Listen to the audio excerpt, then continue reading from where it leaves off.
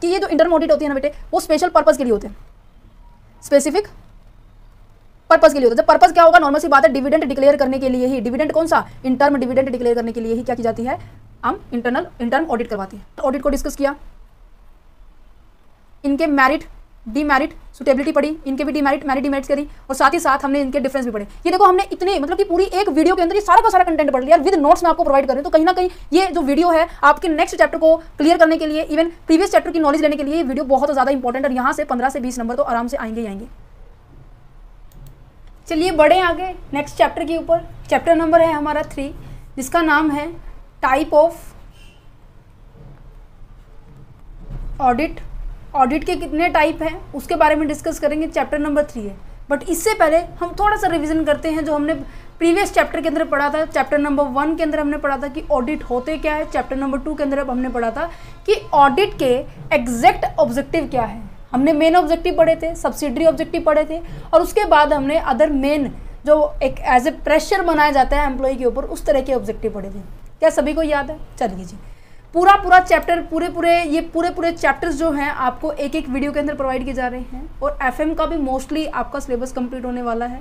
और जो आपका इनकम टैक्स है ऑलमोस्ट हो चुका है वो तो ठीक है?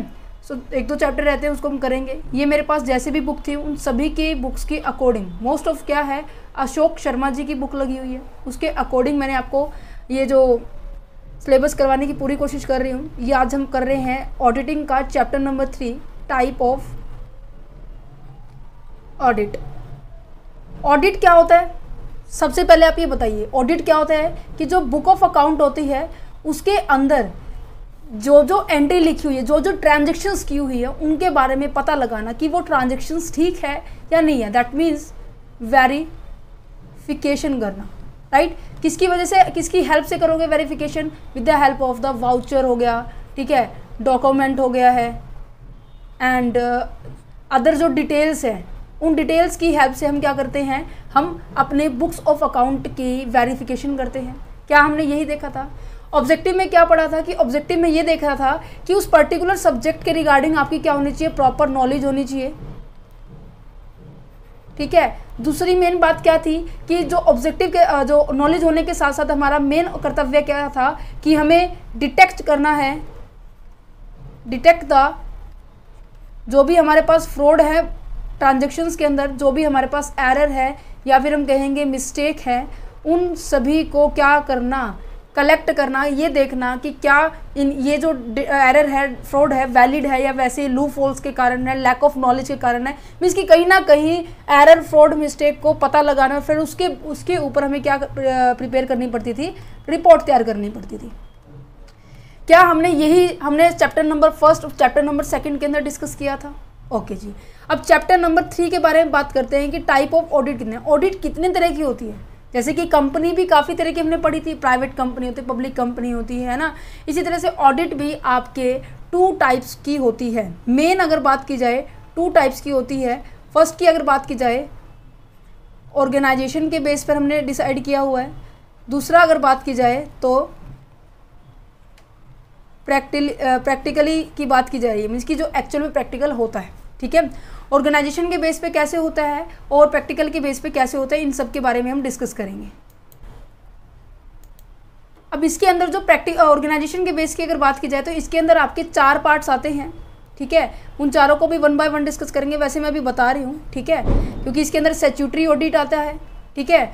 और फिर आता है प्राइवेट ऑडिट आता है गवर्नमेंट ऑडिट आता है देन उसके बाद हमारे पास इंटरनल ऑडिट आता है राइट देन उसके बाद इंटरनल ऑडिट आता है या फिर दूसरे वाला आता है एक सेकेंड इसमें कन्वन इंटरनल ऑडिट ही आता है, ठीक है? नेक्स्ट क्या है? आपके पास इंटरनल ऑडिट के बाद प्रैक्टिकल के अंदर बहुत सारे हैं कॉस्ट ऑडिट हो गया कैश ऑडिट हो गया है मैनेजमेंट ऑडिट हो गया है, ठीक है? और एक कंप्लीट ऑडिट होता है, ठीक है?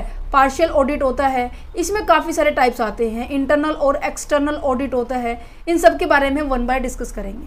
ठीक है? तो चलो पहुँचते हैं सबसे पहले कि ऑडिट क्या होता है, कैसे क्या होता है, ये मैं ऑलरेडी अभी आपको थोड़ा सा एक्सप्लेन किया है मैंने। चलो अब स्टार्ट करते हैं टाइप ऑफ़ ऑडिट देखो ऑडिटिंग का मतलब स्पेशल मेन पर्पज़ क्या होता है कि जितनी भी एग्जामिनेशन कर रहे हैं, वो बहुत ही ध्यान से करना पड़ती है और स्पेशल स्पेशली की जाती है हर एक द्वारा क्योंकि ऑडिट करवाने का मतलब क्या है कि आप अपनी बुक ऑफ़ अकाउंट्स को इस तरीके से वेरिफिकेशन करवा रहे हो कि जो बाकी जो पब्लिक है, जो आपकी कंपनी के अंदर क्या कर रही है इन्वेस्ट करना चाहती है, उनका विश्वास बनाए रखने के लिए भी ऑडिट करवाई जाती है कहीं ना कहीं, है ना? तो इसीलिए audit is a special and a critical examination of the book of account book of account की स्पेशल की जाती है क्रिटिकल एग्जामिनेशन की जाती है। एग्जामिनेशन का मतलब कि जितने भी एरर हैं, जितने भी फ्रॉड हैं, जितनी भी मिस्टेक हो रही हैं, इन सभी को क्या किया जाना, ठीक करना, वो इसके अंदर यहाँ पर इंक्लूड किया जाएगा।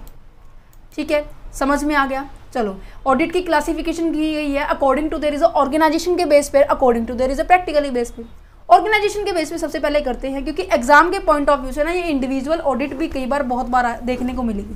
क्योंकि जब मैंने 2021 से लेकर दो हज़ार इक्कीस से लेकर 2023 के क्वेश्चन पेपर जब मैंने अपलोड किए थे ना तो वहाँ पर बहुत सारे क्वेश्चन जो है इंडिविजुअल पूछे गए थे कि सेचुटरी ऑडिट क्या होता है कॉस्ट ऑडिट क्या होता है मैनेजमेंट ऑडिट क्या होता है इंटरनल और एक्सटर्नल के बीच में डिफरेंस क्या है सेचुटरी एंड इंटरनल के बीच में डिफरेंस क्या है। ये जो चैप्टर है ना, कम से कम आपका पंद्रह से अट्ठारह नंबर का चैप्टर है ये। हंड्रेड एंड वन परसेंट यहाँ से क्वेश्चन बनता ही बनता है, ठीक है? तो सबसे पहले जो सेचुटरी ऑडिट करते हैं, जो कि ऑर्गेनाइजेशन का ही पार्ट है स्टैचूटरी ऑडिट क्या है? सबसे पहली ऑडिट है। ये कहते हैं कि, देखो, नाम से क्लियर है। स्टैचूटरी का मतलब मैंने बहुत बार डिस्कस किया है। क्या होता है स्टैचूटरी का मतलब? ऐसे ऑडिट स्टैचूटरी का मतलब क्या होता है? जो वैधानिक, जो rule regulations act rule terms conditions के अकॉर्डिंग काम किया जाता है। उसे बोला जाता है स्टैचूटरी क्योंकि इसका अगर मैं एग्जैक्ट मीनिंग बताऊँ तो इसका मतलब है वैधानिक। वैधानिक रूप से कोर्ट के द्वारा जो भी एक्ट पास किए गए हैं, कोर्ट के द्वारा जो भी रूल रेगुलेशन पास किए गए हैं, उनके तहत जब कोई कंपनी काम करती है, उसको बोला जाता है सेचुटरी प्रोविजंस बोल लीजिए। अब यहाँ पे सेचुटरी ऑडिट आ गया है। सो सेचुटरी ऑडिट का मतलब क्या है कि वो कंपनियाँ इसको ऑडिट कराएगी जो स्पेशल किसी एक्ट के अंदर आती है। जैसे कंपनी एक्ट 2013 है राइट बैंकिंग एक्ट 1949 है, ठीक है? इंश्योरेंस एक्ट 1938 है। इसी तरह से एसबीआई का जैसे एक्ट है 1956 ये जो भी ऐसी कंपनीज़ जो भी ऐसे ऑर्गेनाइजेशंस जो पर्टिकुलर किसी एक्ट के अंदर आते हैं, उनको सेचूटरी ऑडिट करवाना पड़ता है। अब ये सेचूटरी है कंपलसरी है रूल एंड रेगुलेशन अप्लाई किया जाता है दैट्स अ रीज़न कि इसे हम क्या कहेंगे? हम इसको कंपल्सरी ऑडिट भी कहते हैं। क्या कहते हैं? कंपल्सरी ऑडिट कंपल्सरी का मैं एक और नाम बोलूँ तो क्या हो सकता है? यहाँ पर एक और नाम आ जाता है, आपका, कहाँ गया?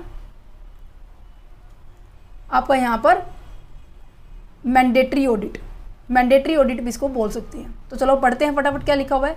Certain organization are the established when the specified legal enactment कुछ एक ऐसी ऑर्गेनाइजेशन होती है जो कि बनती है इस्टेब्लिशमेंट होती है उनकी, किसके under? Special specific legal enactment के अकॉर्डिंग किसी पर्टिकुलर एक्ट के अंदर।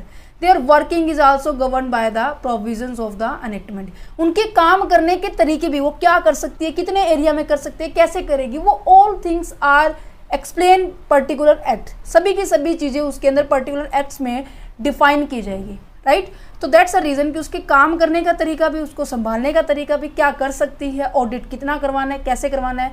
इवन ऑडिटर्स के राइट ऑडिटर्स की duty all things are explain in the particular act okay तो यहाँ पे देखो क्या लिखा हुआ है? Those organization which are established under special act they required the audit उन्हें इस ऑडिट की ज़रूरत होती है, जो स्पेशली किसी पर्टिकुलर एक्ट में होते हैं। इसे ऑडिट को क्या कहते हैं? हम कंपलसरी ऑडिट भी कहते हैं और साथ में मैंडेटरी ऑडिट भी कहते हैं। इज़ इट क्लियर चलिए जी। नेक्स्ट भी बात करते हैं। क्वालिफिकेशंस हुई, चाहे इवन ऑडिटर की क्वालिफिकेशन है राइट right है ड्यूटी है रेमोडेशन है किस किस मैटर से रिलेटेड वो ऑडिट करेगा। All things are explain in its particular act ये सभी की सभी उस एक्ट के अंदर लिखा मिलेगा। ठीक है? चलिए जी। अब यहाँ पर एक्ट दिए हुए हैं, जैसे कि एग्ज़ाम्पल के तौर पर। एग्ज़ाम्पल के तौर पर कौन कौन सी कंपनी हो सकती है? जॉइंट स्टॉक कंपनी है, जो कि रजिस्टर्ड हुई है कंपनी है 2013 के अंदर। बैंकिंग कंपनी है 1949 के अंदर है। इंश्योरेंस कंपनी है 1988 के हिसाब से की गई है। वैसे इंश्योरेंस जो एक्ट जो है 1938 की बात की जाती है। ये सभी एक्ट्स जो हैं वो एक मीन्स की कहने का मतलब यहाँ पे दो चीज़ें याद करने की है। काम करने का तरीका भी एक पर्टिकुलर एक्ट के अंदर डिसाइड होता है। किस एक्ट के अंदर बनी है, कोई भी ऑर्गेनाइजेशन किसी पर्टिकुलर एक्ट में बनी, उसको सेचुटरी ऑडिट करवाने पड़ते हैं। सेचुटरी ऑडिट के दो और नाम है कंपल्सरी ऑडिट और एंड मैंडेटरी ऑडिट समझ में आ गया? चलो जी। खत्म। ऐसे छोटे छोटे पाँच पाँच मिनट के कॉन्सेप्ट है ये। नेक्स्ट आ जाती आ जाइए कि प्राइवेट ऑडिट क्या होता है। अब नाम से क्लियर हो रहा है प्राइवेट ऑडिट अब प्राइवेट कंपनीज़ कैसी थी, जिसके ऊपर मतलब रूल रेगुलेशन गवर्नमेंट नहीं करती थी? जो काम करना होता था मतलब कि होता तो एक्ट के अंदर ही था 1932 जैसे कि पार्टनरशिप एक्ट है। पार्टनरशिप डीड के अकॉर्डिंग होता था उसके अंदर सारा काम, है ना? इसी तरह से प्राइवेट ऑडिट के अंदर भी हर एक कोई भी इंस्टीट्यूशन है, कोई भी ऑर्गेनाइजेशन है, कोई भी फर्म है, उसके लिए कंपलसरी नहीं है कि वो ऑडिट करवाए। There is a no mandatory ठीक है? कोई कंपल्सन नहीं है कि आप अपने बुक्स ऑफ़ अकाउंट को ऑडिट कराएँ बट वो फिर भी करवाती हैं। कारण क्या है, पता है? क्योंकि मैं कारण ना बहुत बार एक्सप्लेन कर चुकी हूँ, क्योंकि chapter number first and chapter number second के अंदर भी ये टॉपिक छोटा सा आया था तब। मैंने बताया था कि थर्ड चैप्टर के अंदर रहेगा। प्राइवेट ऑडिट के अंदर क्या होता है बुक ऑफ़ अकाउंट को क्यों वेरिफिकेशन करवाते हैं? क्योंकि जो प्राइवेट ऑडिट्स जो प्राइवेट ऑर्गेनाइजेशन वाले हैं, किसी सोसाइटी के अंदर इस्टेब्लिशमेंट है, किसी सोसाइटी के अंदर ही है, ठीक है? इवन वो उनकी इनकम जब जनरेट होती है तो वो टैक्स भी पे करते हैं, है ना?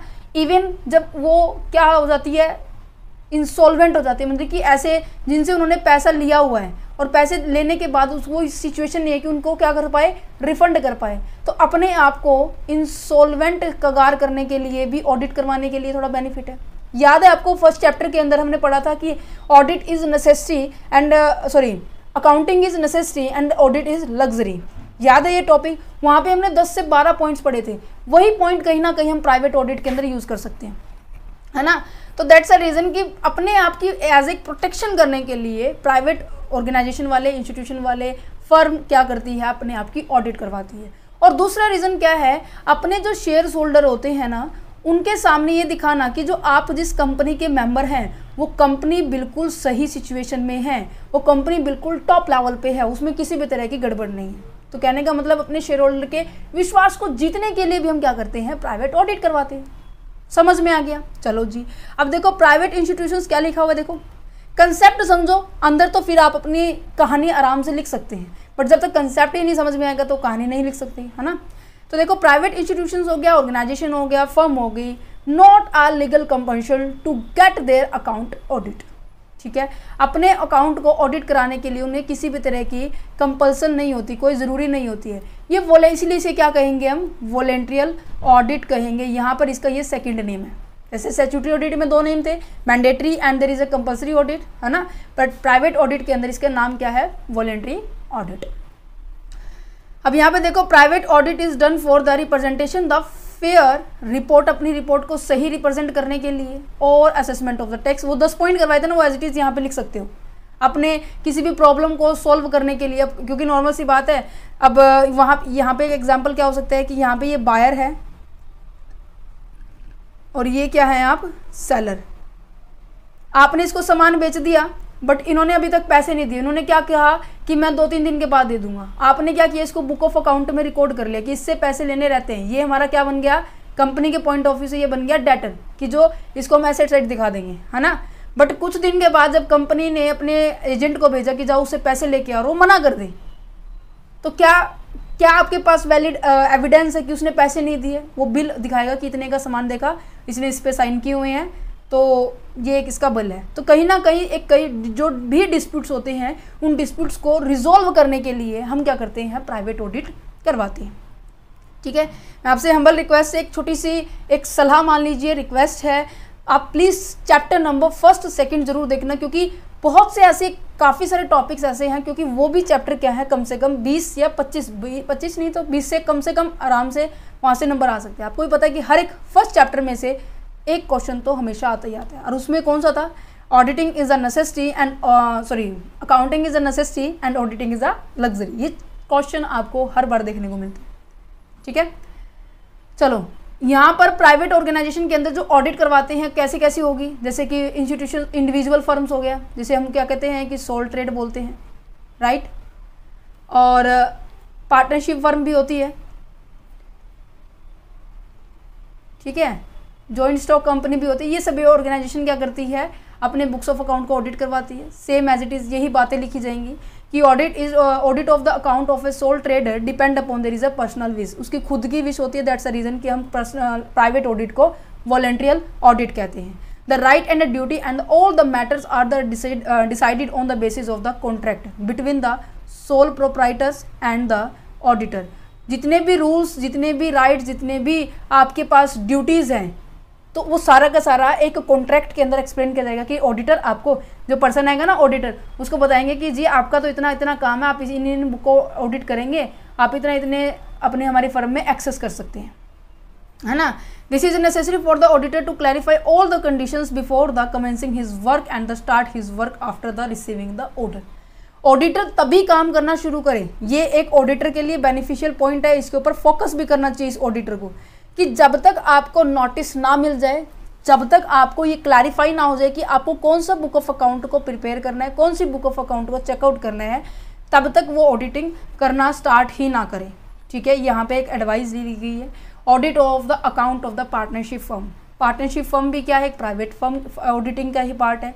इसके अंदर कहते हैं कि ये भी क्या है आपकी? ज़रूरी नहीं होती। इसमें भी क्या होता है? आप अपने इच्छा से करवाते हैं। और इच्छा से क्यों करवाते हैं? क्योंकि पार्टनर्स के अंदर बहुत सारे डिस्प्यूट्स होते हैं, उनको सेटल करने के लिए पहली बात हो ठीक है? अपनी इमेज अच्छी दिखाने के लिए किसी भी तरह का फ्रॉड नहीं करने वाली कंपनी इस तरीके के मतलब कि असेसमेंट ऑफ़ टैक्स डिस्प्यूट्स को रिजोल्व करने के लिए इन सभी टॉपिक्स को आपको क्या करना पड़ेगा? एक्सप्लेन करने इन टॉपिक्स के ऊपर एक सोल्यूशन प्रोवाइड करने के लिए हम क्या करते हैं? ऑडिट करवाते हैं। ठीक है? Right and duty of the is mentioned in the mutual agreement between the auditor and the firm. If the agreement is a silent, the auditor must be read the partnership firm act 1932 ये कह रहे हैं कि हर चीज़ में partner auditor को एक agreement दिया जाएगा कि आप कितना काम कर सकते हैं। इस एग्रीमेंट में ना इवन आगे हम जितने भी ऑडिट पढ़ेंगे ना, सब में ये लिखा होगा कि उनके बीच में क्या हुआ, एक एग्रीमेंट हुआ जिसके अंदर राइट उसकी ड्यूटी उसकी मतलब कि कितना वो एक्सेस कर सकता है बुक ऑफ़ अकाउंट को। कौन सी बुक ऑफ़ अकाउंट को चेक करेगा? ये सब all things are explain in the particular agreement okay तो यहाँ पे कहते हैं कि अगर पार्टनरशिप डीड में, जैसे कि पार्टनरशिप डीड एग्रीमेंट नहीं होता था। पार्टनरशिप डीड जब क्या होती थी? साइलेंट होती थी। हम क्या करते थे? छः पॉइंट थे ना, वो याद करते थे प्लस टू क्लास में। है ना? इवन ग्रेजुएशन सेकेंड ईयर में भी हमने याद किया, जब पार्टनरशिप वाली टॉपिक आया होगा पार्टनरशिप वाला चैप्टर आया होगा। है ना? तो इसी तरह से इसमें भी अगर म्यूचुअल एग्रीमेंट आपका साइलेंट हुआ तो हम क्या करेंगे? पार्टनरशिप डीड को फॉलो करेंगे 1932 के एक्ट के अकॉर्डिंग इज़ इट क्लियर चलो. Audit of the other individual and the institutions other individual institutions जैसे कि कोई भी क्लब हो गया सोशल वेलफेयर सोसाइटी हो गई है एनजीओ हो गया, ये भी अपने ऑडिट करवाते हैं. क्योंकि अब देखो एनजीओ ही मैंने बोला सोशल वेलफेयर के लिए बोला. अब यहाँ पर सबसे, अब सोशल वेलफेयर ही करने लगे. तो नॉर्मल सी बात है प्रॉफिट के ऊपर क्या फोकस करेंगे? यस या नो ऑफकोर्स नो प्रॉफिट के ऊपर तो फोकस करना नहीं है, क्योंकि उन्होंने वेलफेयर के लिए ही सोचा है। तो नॉर्मल सी बात है इनके कितने होंगे? एक्सपेंसेस क्या होंगे? ज़्यादा होंगे। उन एक्सपेंसेस को दिखाएँगे। तभी तो अगर इन केस इनका टैक्स बनता होगा एक्सपेंसेस ही ना दिखाए तो टैक्स और ज़्यादा बन जाएगा। तो अपने टैक्स को कम करने के लिए अपने बुक्स ऑफ़ अकाउंट को ऑडिट करवाते हैं, है ना? कि जिनके रिगार्डिंग अब देखो बुक्स ऑफ़ अकाउंट में रिकॉर्ड करने का एक और कारण होता है कि जितनी भी डोनेशन आती है, ठीक है? जितनी भी चैरिटी के रिगार्डिंग फंड्स आते हैं, उन चैरिटीज़ के रिगार्डिंग फंड्स को भी कलेक्ट किए जाते हैं, उनके ऊपर इनकम भी जनरेट होती होगी, है ना? मतलब कहीं ना कहीं आप एक फेयर रिज़ल्ट दिखाने के लिए, एक करेक्टनेस रिज़ल्ट दिखाने के लिए, कहीं ना कहीं एक बढ़िया सिचुएशन दिखाने के लिए हम क्या करते हैं? ऑडिट करवाते हैं, ठीक है? For this a fair report of the institution help in the assessment of the public trust and the honesty and the tax इन सबको रिप्रेजेंट किया जाता है कि हाँ लोगों का हमारे पास विश्वास है ट्रस्ट है, कहीं ना कहीं हम टैक्स भी हम इवन भर रहे हैं नहीं भर रहे इन सभी के रिगार्डिंग की बात है। हो गया प्राइवेट ऑडिट कंप्लीट चलिए। अब आ जाते हैं गवर्नमेंट ऑडिट के बारे में। गवर्नमेंट ऑडिट की बात की जाए तो गवर्नमेंट ऑडिट क्या होता है? नाम से ही क्लियर हो रहा है गवर्नमेंट ऑडिट अब गवर्नमेंट ऑडिट क्या है? स्पेशल किसी पर्टिकुलर डिपार्टमेंट के बारे में बात कर रहे हैं, जो कि एक एक डिपार्टमेंट स्पेशल बनाया जाता है और उन डिपार्टमेंट्स को हम क्या कहेंगे? अकाउंट एंड ऑडिट डिपार्टमेंट यहाँ पे देखो स्पेशल ये आपको लर्न करना है बेटे। जो लर्न करने की बात है मैं आपको बता भी रही हूँ। बाकी चीज़ें समझने की वो समझ सकती हूँ। एक डिपार्टमेंट होता है सेपरेट डिपार्टमेंट होता है अकाउंट एंड ऑडिट डिपार्टमेंट और इस डिपार्टमेंट को कौन हायर करता है? कौन मतलब इसके डिपार्टमेंट जो कि हेडेड किया जाता है, किसके द्वारा? Controller and the auditor general of the India और और इसके अंदर जो मेंबर्स जो हैं अपॉइंट किसके द्वारा किए जाते हैं? प्रेसिडेंट ऑफ़ इंडिया इसकी इनकी अथॉरिटीज़ जो है इनके जितने भी राइट हैं इनकी जितनी भी ड्यूटी हैं वो all things are explain by the president of India और इनको हायर भी इवन प्रेसिडेंट ऑफ़ इंडिया करते हैं। तो यहाँ पे तीन बातें याद करनी है, है। कि सबसे पहले क्या है कि सेपरेट डिपार्टमेंट के बारे में बात करता है और वो सेपरेट डिपार्टमेंट का नाम क्या है? अकाउंट एंड ऑडिट डिपार्टमेंट ठीक है? और तो यहाँ पर दूसरी बात आ गई समझ में। तीसरी बात क्या याद रखने कि जो डिपार्टमेंट इसके अंदर काम करता है, जैसे कि auditor and general general of the India की बात की जा रही है और इसको कौन अपॉइंट करता है?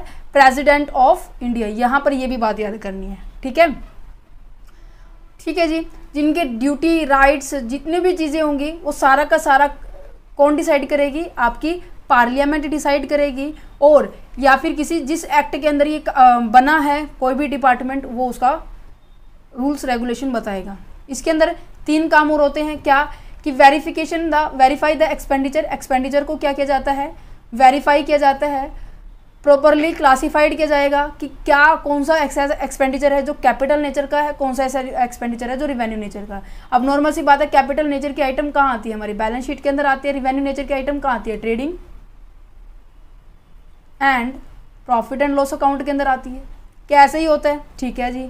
Existence and the valuation of the store and the stock कि जो भी अपने पास स्टोर है, में सामान रखा है, जो भी स्टॉक में सामान है, उनकी वैल्यूएशन करना कि क्या उनकी वैल्यू जो कंपनी बता रही कंपनी कह रही इनकी वैल्यू दो लाख है। क्या इनकी दो लाख ही है या नहीं है, या इससे कम है या इससे ज़्यादा है, वो एक चीज़ें को कैलकुलेट किया जाता है, ठीक है? गवर्नमेंट डिपार्टमेंट इसलिए स्पेशल किया जाता है। नेक्स्ट क्या है? जो कि ऑर्गेनाइजेशन ऑडिटिंग का फोर्थ पार्ट क्या है? इंटरनल ऑडिट इंटरनल ऑडिट क्या होता है? अभी तक हम क्या कर रहे थे? बाहर से पर्सन अपॉइंट कर रहे थे। बाहर से पर्सन को अपॉइंट करके उसे बता रहे थे कि तुम्हारा राइट ये है, तुम्हारी ऑब्लिगेशन ये है है ना? अब यहाँ पे नाम से ही क्लियर हो रहा है इंटरनल इंटरनल का मतलब क्या करें कि आपकी ये ऑर्गेनाइजेशन है और ऑर्गेनाइजेशन के अंदर ये सारे मेंबर हैं। ठीक है? हमें इसको मेंबर बना देते हैं। एक सेकेंड ये आपकी ऑर्गेनाइजेशन के अंदर क्या है? ये मेंबर है और इन मेंबर्स में से किसी एक पर्सन को क्या कर सिलेक्ट कर लिया? एज ए ऑडिट कर लिया। ऑडिटर कर लिया, जिसको अकाउंट्स की इंफॉर्मेशन होती है, ठीक है? आपके स्टैंडर्ड की इंफॉर्मेशन होती है कि जो, अगर मैं ये कहूँ कि अकाउंटिंग स्टैंडर्ड नाइन किससे रिलेटेड करता है? अकाउंटिंग स्टैंडर्ड ट्वेंटी सिक्स किससे रिलेटेड करता है? तो आप बता सकते हैं अकाउंटिंग स्टैंडर्ड ट्वेंटी सिक्स आपकी इंटेंजिबल एसेट्स है, उनके ट्रीटमेंट पर्टिकुलर बताएगा। तो उसको पर्टिकुलर एक तरह से बताए तो अकाउंट की प्रॉपर नॉलेज होनी चाहिए बेसिक से लेकर टॉप लेवल तक की। अब यहाँ पे देखो क्या लिखा हुआ है इंटरनल ऑडिट का मतलब कहते हैं कि विद इन ऑर्गेनाइजेशन इसका मतलब क्या है? Like the other employee it's also appoint the auditor as its employee prevent the fraud and the error and the manipulation of the account these auditors are the permanent auditor and the receive the salary like the other employee अब normal सी बात है organisation के अंदर से ही कोई employ हो रहा है तो नॉर्मल सी बात है कि बाकी एम्प्लॉय की तरह उसे क्या मिलने वाली है? सैलरी मिलने वाली है। अब सैलरी मिलने वाले तो हम क्या कहेंगे? सैलरीड ऑडिटर भी कह सकते हैं, है ना? क्या कहेंगे? सैलरीड ऑडिटर भी कह सकते हैं। यहाँ पे एक चीज़ ये ये याद रखने की है कि जितने भी एरर्स है, जितने भी फ्रॉड है, उनको क्या किया जाता है? उनसे बचाया जाता है, ठीक है? और इनको बाकी एम्प्लॉय की तरफ़ से सैलरी रिसीव होते दैट्स अ रीज़न कि उसे सैलरी एम्प्लॉय भी कहते हैं। ये साल के, अब यहाँ पे एम्प्लॉई आपके ऑर्गेनाइजेशन के अंदर ही है। तो नॉर्मल सी बात है, सारे साल ये ऑडिट करता रहेगा। हर महीने ये ऑडिट करता रहेगा। हर महीने की जितनी भी ट्रांजेक्शन उनको वेरीफाई करता रहेगा। तो दैट्स अ रीज़न कि throughout the year examination the book of account सारे साल कितनी, जितनी भी बुक्स ऑफ़ अकाउंट है, वो हर महीने रेगुलर बेसिस पे क्या करता रहेगा? उन्हें ऑडिट करता रहेगा। समझ में आ गया? It is a mandatory for all the listed company and the same unlisted company and the private company ये कह रहे हैं कि जो आपकी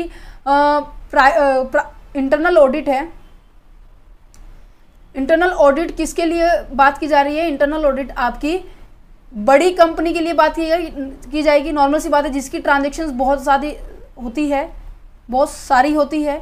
उनके लिए ये थोड़ा बेनिफिशियल होता है है ना? अगर ये छोटी ट्रांजेक्शन हुई तो within a one year में हम कर सकते हैं, तीन से चार दिन लगेंगे।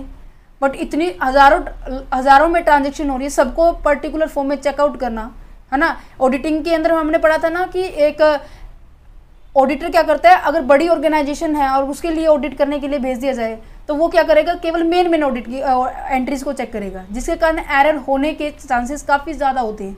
जो रिपोर्ट नज़र आएगी वो इतनी फेयर नज़र नहीं आएगी। तो दैट्स अ रीज़न कि यहाँ पे जो इंटरनल ऑडिट का कंसेप्ट लेके आए कि जितनी भी आपकी लार्ज कंपनियाँ हैं जितनी भी आपकी लिस्टेड कंपनियाँ कौन सी होगी? नॉर्मल सी बात है थोड़ा सा आ, उनकी पर capital income turnover net profit ये सभी ज़्यादा मिलेंगे करोड़ों में मिलेंगे। तो ट्रांजेक्शन्स भी क्या होगी?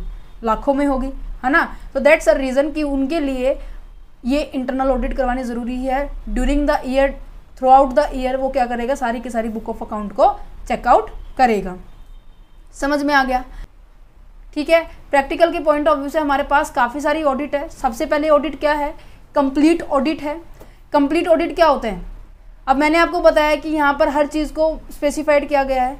अब यहाँ पर कितने किस कितने बुक ऑफ़ अकाउंट को चेक करना है, कैसे करना है, ये सभी हमने देखा ना कि ऑडिटर को पहले एक एग्रीमेंट के अंदर एक्सप्लेन किया जाएगा।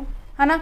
अब यहाँ पे क्या कहा जा रहा है कि कंप्लीट ऑडिट है। मीन्स कि जितनी भी book of transaction book of account में जितनी भी ट्रांजेक्शन है इवन वो ट्रांजेक्शन आपकी परचेज से रिलेटेड है इवन वो ट्रांजेक्शन आपकी सेल से रिलेटेड है इवन वो ट्रांजेक्शन आपकी कैश से रिलेटेड है, या फिर आपकी मशीनरी से एसेट से रिलेटेड की बात की जा रही है, या फिर लाइबिलिटी से रिलेटेड एंट्रीज की बात की जा रही है, वो हर एक बुक ऑफ़ अकाउंट को क्या करने वाला है? चेक करने वाला है। कंप्लीट ऑडिट का मतलब ये है। मीन्स कि every transactions every entry book total balance voucher document all things are explain ठीक है? और ये ये सारे, ये देखो सब चीज़ें लिखी हुई है, जितनी भी चीज़ों को वो एग्जामिन कर सकता है। Such an audit is a legally compulsory in case of the company company के केस में मोस्टली पब्लिक कंपनी के केस में ये करवाना पड़ता है। क्योंकि जो पब्लिक कंपनी होती है, अपना, आपने देखा था कि वो पी आर पी आर का कंसेप्ट पढ़ा था कि प्रोहिबिटेड है, कि वो कितने number of as a member रख सकती है, अपने शेयर्स को ट्रांसफ़र नहीं कर सकती रिस्ट्रिक्शंस ये लगाई हुई थी, है ना? और साथ ही साथ वो पब्लिक से पैसा क्या कर सकती है? उठा सकती है। लगाया था, ये समझाया था कि पब्लिक से जब वो पैसा ही उठा रही है पब्लिक के पैसे को वो यूज़ कर रही है तो कहीं ना कहीं उसे हर बुक ऑफ़ ट्रांजेक्शन्स को, हर ट्रांजेक्शन्स को उसको क्या करना पड़ेगा? रिकॉर्ड करना पड़ेगा। इसको हम कहेंगे कंप्लीट ओडी अगर मैं इसका प्रॉपर मीनिंग यहाँ पे लिखा, बताया जाए तो कहते हैं कि all the book of account of an organization related to that is a specific period are examine in detail so no transactions और अकाउंट रिमेन अनएग्जामिन ये कह रहा है कि जितनी भी ट्रांजेक्शन्स है, किसी पर्टिकुलर ट्रांजेक्शन्स के रिगार्डिंग इवन पर्टिकुलर पीरियड के रिगार्डिंग उस सबको डिटेल में हम क्या करेंगे? एग्जामिन करेंगे। कोई भी ऐसी ट्रांजेक्शन नहीं छूटेगी, कोई भी ऐसी अकाउंट्स नहीं छूटेगा जो कि अनएग्जामिन रह जाए। That's audit is known as a complete audit कहेंगे। ओके ठीक है जी। नेक्स्ट अगर बात की जाए तो हमारे पार्शियल ऑडिट है। पार्शियल ऑडिट की बात की जाए तो उसमें क्या होता है कि कुछ एक ट्रांजेक्शन्स को की बात की जा रही है। मैं कह रही हूँ कि मैंने कहा कि केवल मैं तो क्या करवाना चाहती हूँ? सेल अकाउंट को ही एग्जामिन कराना चाहती हूँ। मैं कहती हूँ कि मुझे केवल एसेट्स के अकाउंट को ही एग्जामिन कराना है। मीन्स कि जब किसी पर्टिकुलर अकाउंट को हम एग्जामिन कराते हैं पर्टिकुलर अकाउंट के अंदर से हम एरर को चेकआउट करना चाहते हैं, उस अकाउंट ऑडिट को क्या कहेंगे? पार्शियल ऑडिट कहेंगे। वैसे ऐसा पॉसिबल ही नहीं है, क्योंकि नॉर्मल सी बात है सेल के रिगार्डिंग आप एंट्री चेक कर रहे हो तो वहाँ पर देखोगे ना कैश में की है, या फिर क्रेडिट में की है। अगर क्रेडिट में की है तो आपको किसका अकाउंट चेक करना पड़ेगा? डेटर का चेक करना पड़ेगा। राइट डेटर का चेक करना पड़ेगा ना। इन केस अगर मैंने कैश में की है तो कैश अकाउंट भी चेक करना पड़ेगा कि कैश में दिया या फिर बैंक का बैलेंस है। मीन्स कि ये तो थोड़ा इम्पॉसिबल सा लग रहा है मुझे कि पार्शियल ऑडिट करना अब पॉसिबल है। देखो यहाँ पे क्या लिखा हुआ है। Instead instead of the examine all the book of particular organization only a specific part of the book of account means कि सारे के सारे बुक ऑफ़ अकाउंट को चेक करने की बजाय हम क्या करते हैं? केवल एक स्पेसिफिक स्पेसिफिक पार्ट को हम एग्जामिन करते हैं। और only the particular period are the examine और किसी पर्टिकुलर पीरियड की बात की गई है, सारे बुक ऑफ़ अकाउंट की नहीं, पूरे फाइनेंशियल ईयर की नहीं, किसी पर्टिकुलर एक दो महीने की बात की जा रही है। ठीक है? उसे हम क्या कहेंगे? पार्शल ऑडिट कहेंगे। ओनली परचेज ओनली कैश ये थोड़ा सा इम्प्रैक्टिकल सा है तो ये तो आ गया समझ में। कंप्लीट का मतलब सारी बुक ऑफ़ अकाउंट का पार्शियल का मतलब स्पेसिफिक पार्ट की बात की जा रही है। चलिए जी। तो बड़े आगे नेक्स्ट टॉपिक के ऊपर, जो जिसका नाम क्या है? कंटिन्यूस ऑडिट है। कंटिन्यूस नाम से क्लियर हो रहा है। ऑडिट का मतलब क्या हो गया कि बुक ऑफ़ अकाउंट को चेक करना, जिसके अंदर एर एड फ्रॉड मिस्टेक को पता लगाना, ठीक है? अब कंटिन्यूस उसके सामने लगा दिया तो दैट मीन्स कि थ्रू आउट द ईयर हम क्या करते हैं बुक्स को एग्जामिन करते हैं। मीन्स कि साल, पूरा साल हम इसको एग्जामिन करते हैं, ठीक है? कंटिन्यूसली हम इसको करते रहते करते रहते वो डिपेंड करता है अब ऑडिटर के ऊपर कि वो रेगुलर इंटरवल में करेगा या फिर इरेगुलर इंटरवल में। रेगुलर इंटरवल इरेगुलर इंटरवल का मतलब क्या है? कि मैंने डिसाइड किया, मैं मान लो मैं एक कंपनी की ऑडिटर हूँ, मैंने डिसाइड किया कि मैं बुक ऑफ़ अकाउंट को चेक करूँगी हर दूसरे महीने। एवरी सेकेंड मंथ मैं इसको क्या करूँगी? चेक करूँगी। मीन्स कि कितनी बार ऑडिट करने वाली हूँ मैं? साल के अंदर सिक्स टाइम मैं ऑडिट करने वाली हूँ। अगर मैंने मेरी इच्छा के अकॉर्डिंग मैं कभी तीसरे महीने में कर रही हूँ, कभी मैंने अगले फिर फोर्थ महीने में कर दिया। मतलब कि एक में तो तीन महीने का गैप था, फिर एक में एक महीने का गैप आया, फिर मैं दूसरे में दो महीने का गैप रख रही हूँ, मैं छठे महीने में फिर ऑडिट कर रही हूँ। तो क्या है ये? इरेगुलर इंटरवल मीन्स कि एक ऐसा इंटरवल जिसके बीच में टाइम गैप क्या है? इक्वल नहीं होता, उसे हम क्या कहते हैं? इरेगुलर कहते हैं। ठीक है इरेगुलर इंटरवल कहते हैं। अगर मैं आर जी विलियम के अकॉर्डिंग अगर मैं इसकी डेफिनेशन आपको बताऊँ कि कंटिन्यूस ऑडिट होता क्या है, कि जो ऑडिट होता है, वो is a one where the auditor and his staff जो ऑडिटर होता है और जो उसका स्टाफ मेंबर होती है। ऑडिटर वैसे थोड़ी ना सिंपली थोड़ी ना हो जाती है, पूरे टीम के साथ होती है ना। और जो उसका स्टाफ है, वो क्या होता है कॉन्स्टेंटली अंगेज होते हैं in checking the account during the whole period or where the auditor or his staff attend or at the regular interval during the period. Means कि ऑडिटर और उसका स्टाफ प्रॉपरली कांस्टेंट वे से अंगेज होते हैं। Means कि अंगेज का मतलब होता है कि उस चीज़ के अंदर इन्वॉल्व होना एक उत्साह के साथ एंथ्यूजम के पॉइंट ऑफ़ व्यू के साथ साथ हम उस चीज़ को मतलब पूरा उस ऑडिट को चेक मतलब बुक ऑफ़ अकाउंट को चेक करने के लिए हम उसके ऊपर पूरा फोर्स लगा देते हैं। उसका स्टाफ भी वो खुद भी पूरे तरह से एनर्जी में होते हैं कि एरर भी जितने भी हैं, जितने भी मिस्टेक्स हैं, जितने भी फ्रॉड हैं, इन सबको क्या कर सके, पकड़ के ला सके और सामने रिप्रेजेंट कर सके मैनेजमेंट के। अब वो मैनेजमेंट के सामने रखेगा तो नॉर्मल सी बात है मैनेजमेंट के सामने रखने का फ़ायदा भी तो होना चाहिए ना। है ना? फ़ायदा क्या होगा मैनेजमेंट के सामने रखने का कि मैनेजमेंट उनको क्या कर सके ठीक कर सके। दूसरा कारण क्या है कि जितने भी डिसीज़न लेने होते हैं, आगे हमें वो डिसीज़न हम क्या कर सके प्रॉपर ले पाए। क्योंकि नॉर्मल सी बात है एरर के बेस पे अगर जो डिसीज़न लेंगे नॉर्मल सी बात है, वो वो डिसीज़न भी कैसा होगा? ठीक नहीं होगा। अगर डिसीज़न उन एरर को ठीक करने के बाद ले रहे हैं तो नॉर्मल सी बात है कि हम प्रॉफिट जनरेट कर पाएँगे इन फ्यूचर में। समझ पा रहे हो? तो कंटिन्यूस ऑडिट वही ऑडिट होता है जो स्टार्टिंग स्टार्ट कहाँ से होता है? साल के शुरू में स्टार्ट होता है ख़त्म साल के एंड वाले दिन में होता है। इसका एक और बेनिफिट है बेटे। देखो, साल के शुरू में शुरू हो रहा है, साल के जिस दिन इकतीस तीन, अब 2024 आएगी।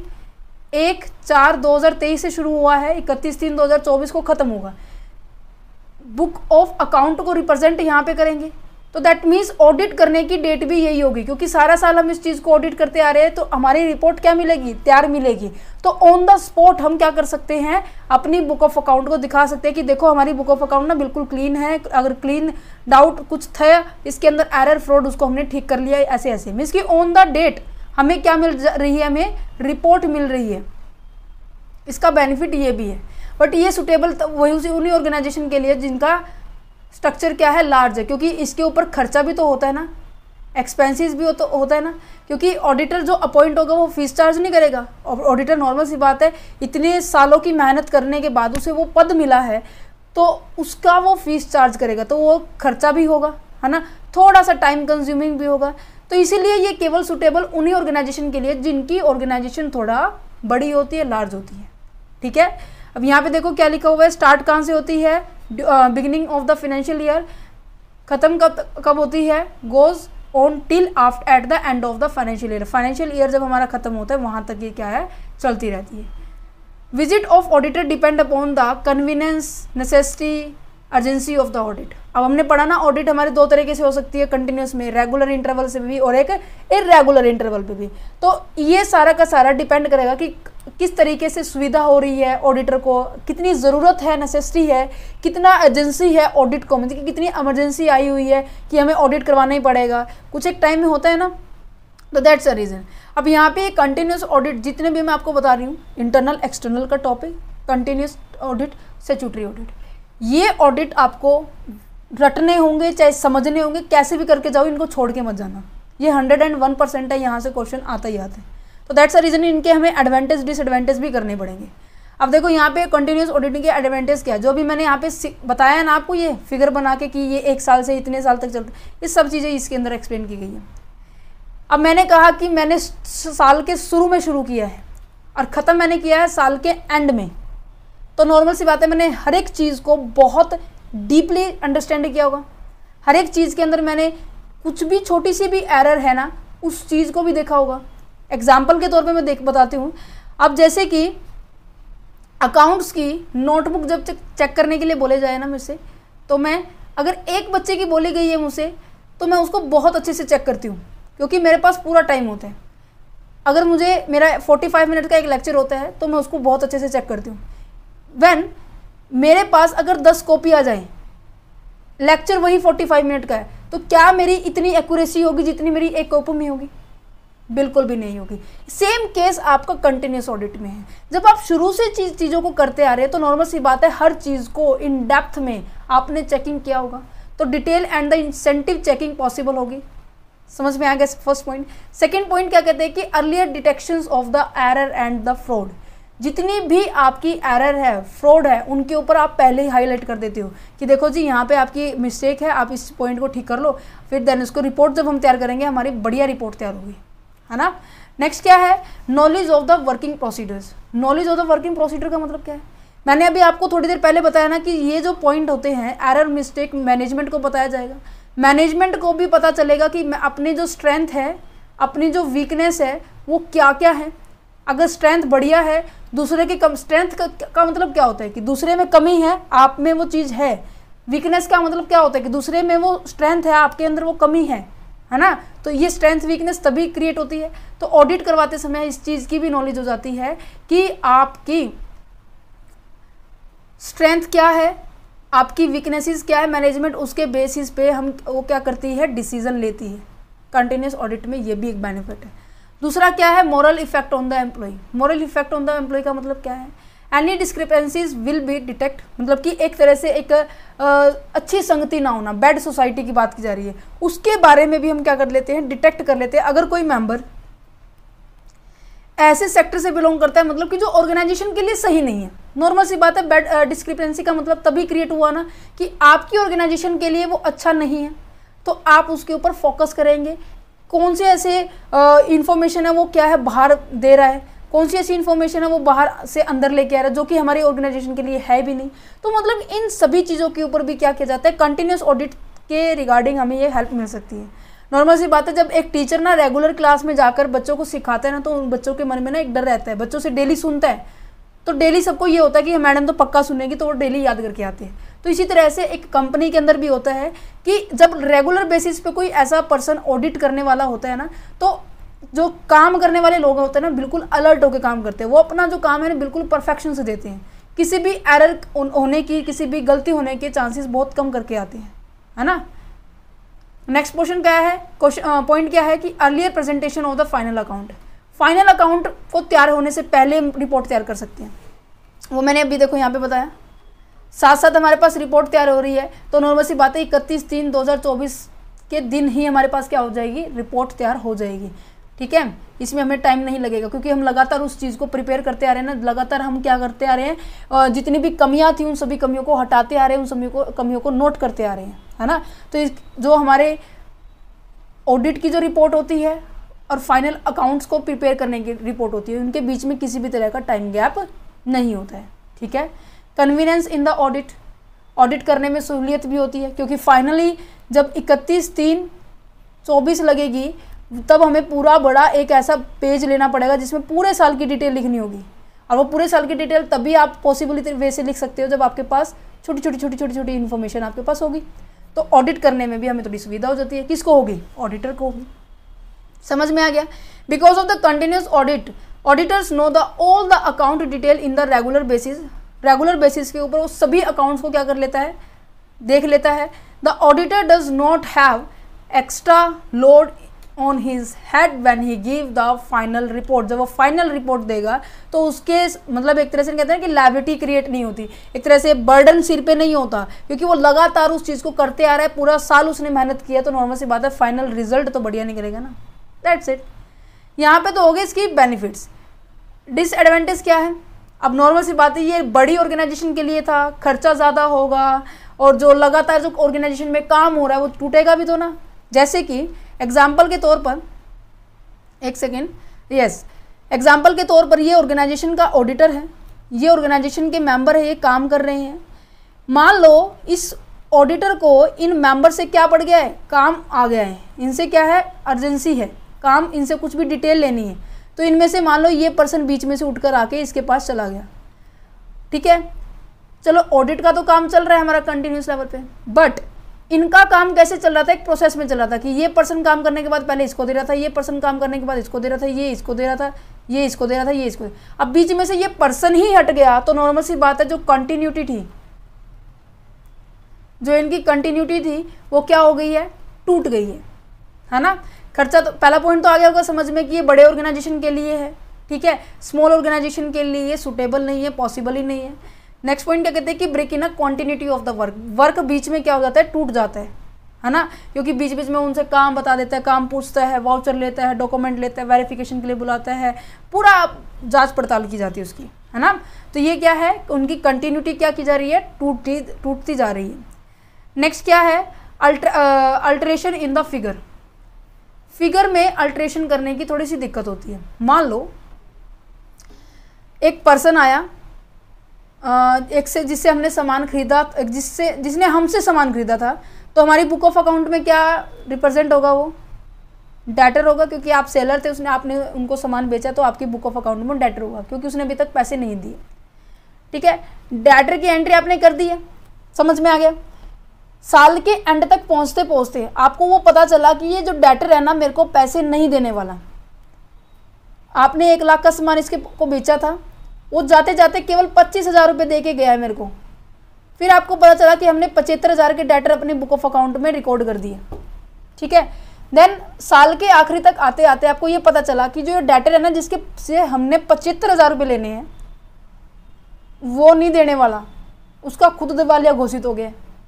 तो क्या हो गए? कंपनी उसमें कहाँ पे, अब बैड डेट में दे, में से डेटर में से क्या हमें डिडक्ट करने पड़ते हैं? बैड डेट याद है फाइनेंशियल स्टेटमेंट विद एडजस्टमेंट वाली चैप्टर करते थे। तो बैड डेट्स की एंट्री हम माइनस करते थे। मीन्स कि अगर आपको किसी भी तरह की अल्ट्रेशन करनी है एट द एंड में, वो अल्ट्रेशन करने में थोड़ा सा दिक्कत होगी यहाँ पे। तो इसकी कहीं ना कहीं डीमेरिट्स आ जाती हैं। ठीक है? ये थे आपके पूरे के पूरे कंटिन्यूस uh, ऑडिट के बारे में इंफॉर्मेशन की कंटिन्यूस ऑडिट क्या होता है कैसे होता है ये बहुत आसान टॉपिक था। उम्मीद करते हैं ये जो टॉपिक है आपको समझ में आया होगा है ना?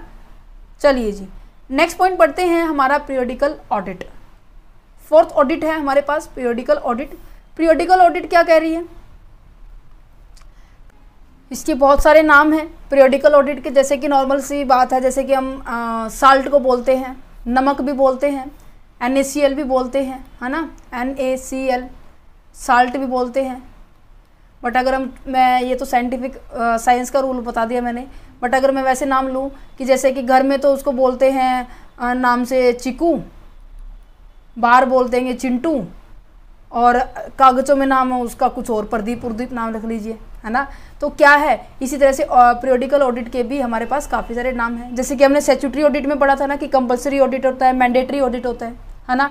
प्राइवेट ऑडिट में हमने क्या पढ़ा कि प्राइवेट ऑडिट होता है और एक हमारा वॉलेंटियल ऑडिट होता है। ऐसे ही पीरियोडिकल ऑडिट के अंदर भी हमारे पास क्या है, इसको हम क्या नाम से जानते हैं? एनुअल ऑडिट के नाम से जानते हैं और हमारा फाइनल ऑडिट के नाम से जानते हैं। अब final audit periodical audit annual audit बोला जा रहा है।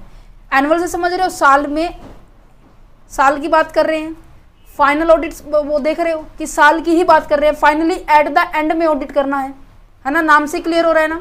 तो पेपर में किसी भी तरीके से आ जाए, आपको कंफ्यूज नहीं होना है, ठीक है? अब यहाँ पर it is done at the close of the financial trading period when the final account are prepare ये ऑडिट तब की जाती है बेटा, जब आपका बुक ऑफ़ अकाउंट तैयार किया जाता है ना, उसके बाद आप इसको तैयार करते हैं ऑडिट करवाते हैं। मीन्स कि जब एट द एंड में, देखो क्लोज ऑफ़ द यहाँ पे वर्ड लिखा हुआ है close of the financial period या फिर ट्रेडिंग पीरियड ट्रेडिंग पीरियड जब आपका ख़त्म हो जाता है ना, तब इसको ऑडिट करवाया जाता है। मीन्स कि आप पूरे साल की ऑडिट आप कब करेंगे? आप एट द एंड में करेंगे। अब कंटिन्यूस ऑडिट में क्या था कि हम पूरा साल करते रहते अब एट द एंड में कर रहे हैं तो नॉर्मल सी बात है, कैसा बिज़नेस होगा? हमारा बिज़नेस छोटा सा होगा, जिसके अंदर ट्रांजेक्शन भी कम होगी, जिसके अंदर जितनी भी ट्रांजेक्शन होगी, उसको हम इजिली चेकआउट कर सकते हैं with the help of the voucher documents and their other receipt है ना? तो auditor visit his client only once a year and check the book of account auditor क्या करेगा? आपके, अपने ही क्लाइंट के ऑफ़िस में तब पहुंचेगा जब साल का आखिरी के टाइम होगा और अब उनकी बुक ऑफ़ अकाउंट को क्या कर देगा? चेक कर देगा। ठीक है? और ये किसके लिए सुटेबल है? ये सुटेबल है आपके स्मॉल बिज़नेस के लिए स्मॉल इन साइज़ वाले बिज़नेस के लिए। समझ में आ रहा है? कंसेप्ट क्लियर हो रहा है? Another name of the such audit इसको क्या कहेंगे? बैलेंस शीट ऑडिट कहेंगे। अब देखो बैलेंस शीट भी कब तैयार करते थे? At the end of the accounting year जिसके ऊपर हम लिखते थे एज ऑन याद है एज ऑन लिखने के बाद जो डेट लिख दी होती है ना मतलब क्या होता है कि इस डेट तक, इस टाइम तक की ट्रांजेक्शन इसमें रिकॉर्ड की गई है। बाद में ट्रांजेक्शन होते हैं, उसको बाद में देखेंगे। है ना? Audit is initiated after the preparation of the balance sheet balance sheet के तैयार होने के बाद ऑडिट शुरू होती है। इनिशिएटेड का मतलब क्या है? शुरू होना। समझ में आ रहा है? ये कि अब यहाँ पे नीचे लिखा क्या लगा किसके लिए सुटेबल है? सबसे पहले उसके लिए सुटेबल है जिसका बिज़नेस छोटा होता है, जिसको शॉर्ट नोटिस के दौरान आपको ऑडिट की रिपोर्ट नहीं चाहिए होती। है मीन्स की अब नॉर्मल सी बात है, इस अकाउंट को, इस बुक ऑफ़ अकाउंट को ऑडिट यहाँ पे किया जा रहा है। नॉर्मल सी बात है, इसके अंदर थोड़ा सा टाइम क्या लगने वाला है? मीन्स की जो रिपोर्ट तैयार करेंगे और जो बुक ऑफ़ अकाउंट के टाइम होगा, उनके बीच में क्या होगा? टाइम होगा। तो ये ऑडिट उसी ऑर्गेनाइजेशन के लिए पॉसिबल है, उसी वही ऑर्गेनाइजेशन कराएगा जिसको इतनी जल्दी नहीं होती कि हाँ ऑडिट रिपोर्ट लेके आओ भाई। समझ में आ रहे हैं? या फिर वो ऑर्गेनाइजेशन कराएगी जिसको बीच में ही बहुत इमरजेंसी डिक्लेरेशन करनी है। इमरजेंसी डिक्लेरेशन की बात की जाए, मान लो आपको डिविडेंट देना है है ना? एक आपने डिविडेंट वाला टॉपिक पढ़ा था, अगर आपने अभी तक नहीं पढ़ा तो कोई बात नहीं। मैं आपको बता देती हूँ, जो डिविडेंट होता है ना, डिविडेंट नॉर्मली क्या किया जाता है, साल के आखिरी में दिया जाता है। बट कुछ एक ऐसी ऑर्गेनाइजेशन होती है, जो साल के बीच में ही दे देती है। सब साल के बीच में डिविडेंड दिया जाता है मीन्स कि पूरे साल के अकाउंटिंग ईयर को देखकर हम कभी बीच में, मान लो छठे महीने हमने दे दिया तो दो अकाउंटिंग पीरियड के बीच में जब हम कभी ऑडिट करते हैं तो उसे हम क्या कहते हैं? इंटर्म ऑडिट कहते हैं। इंटर्म ऑडिट तभी करवाई जाती है। आगे आएगा भी ये वाला पॉइंट आएगा अभी इंटर्म ऑडिट बट आपको यहाँ पे पॉइंट लिखा हुआ है कि कहाँ कहाँ सुटेबल है। छोटी ऑडिट है पीरियोडिकल ऑडिट है एनुअल ऑडिट भी कहते हैं हम इसको, ठीक है? फाइनल ऑडिट भी कहते हैं।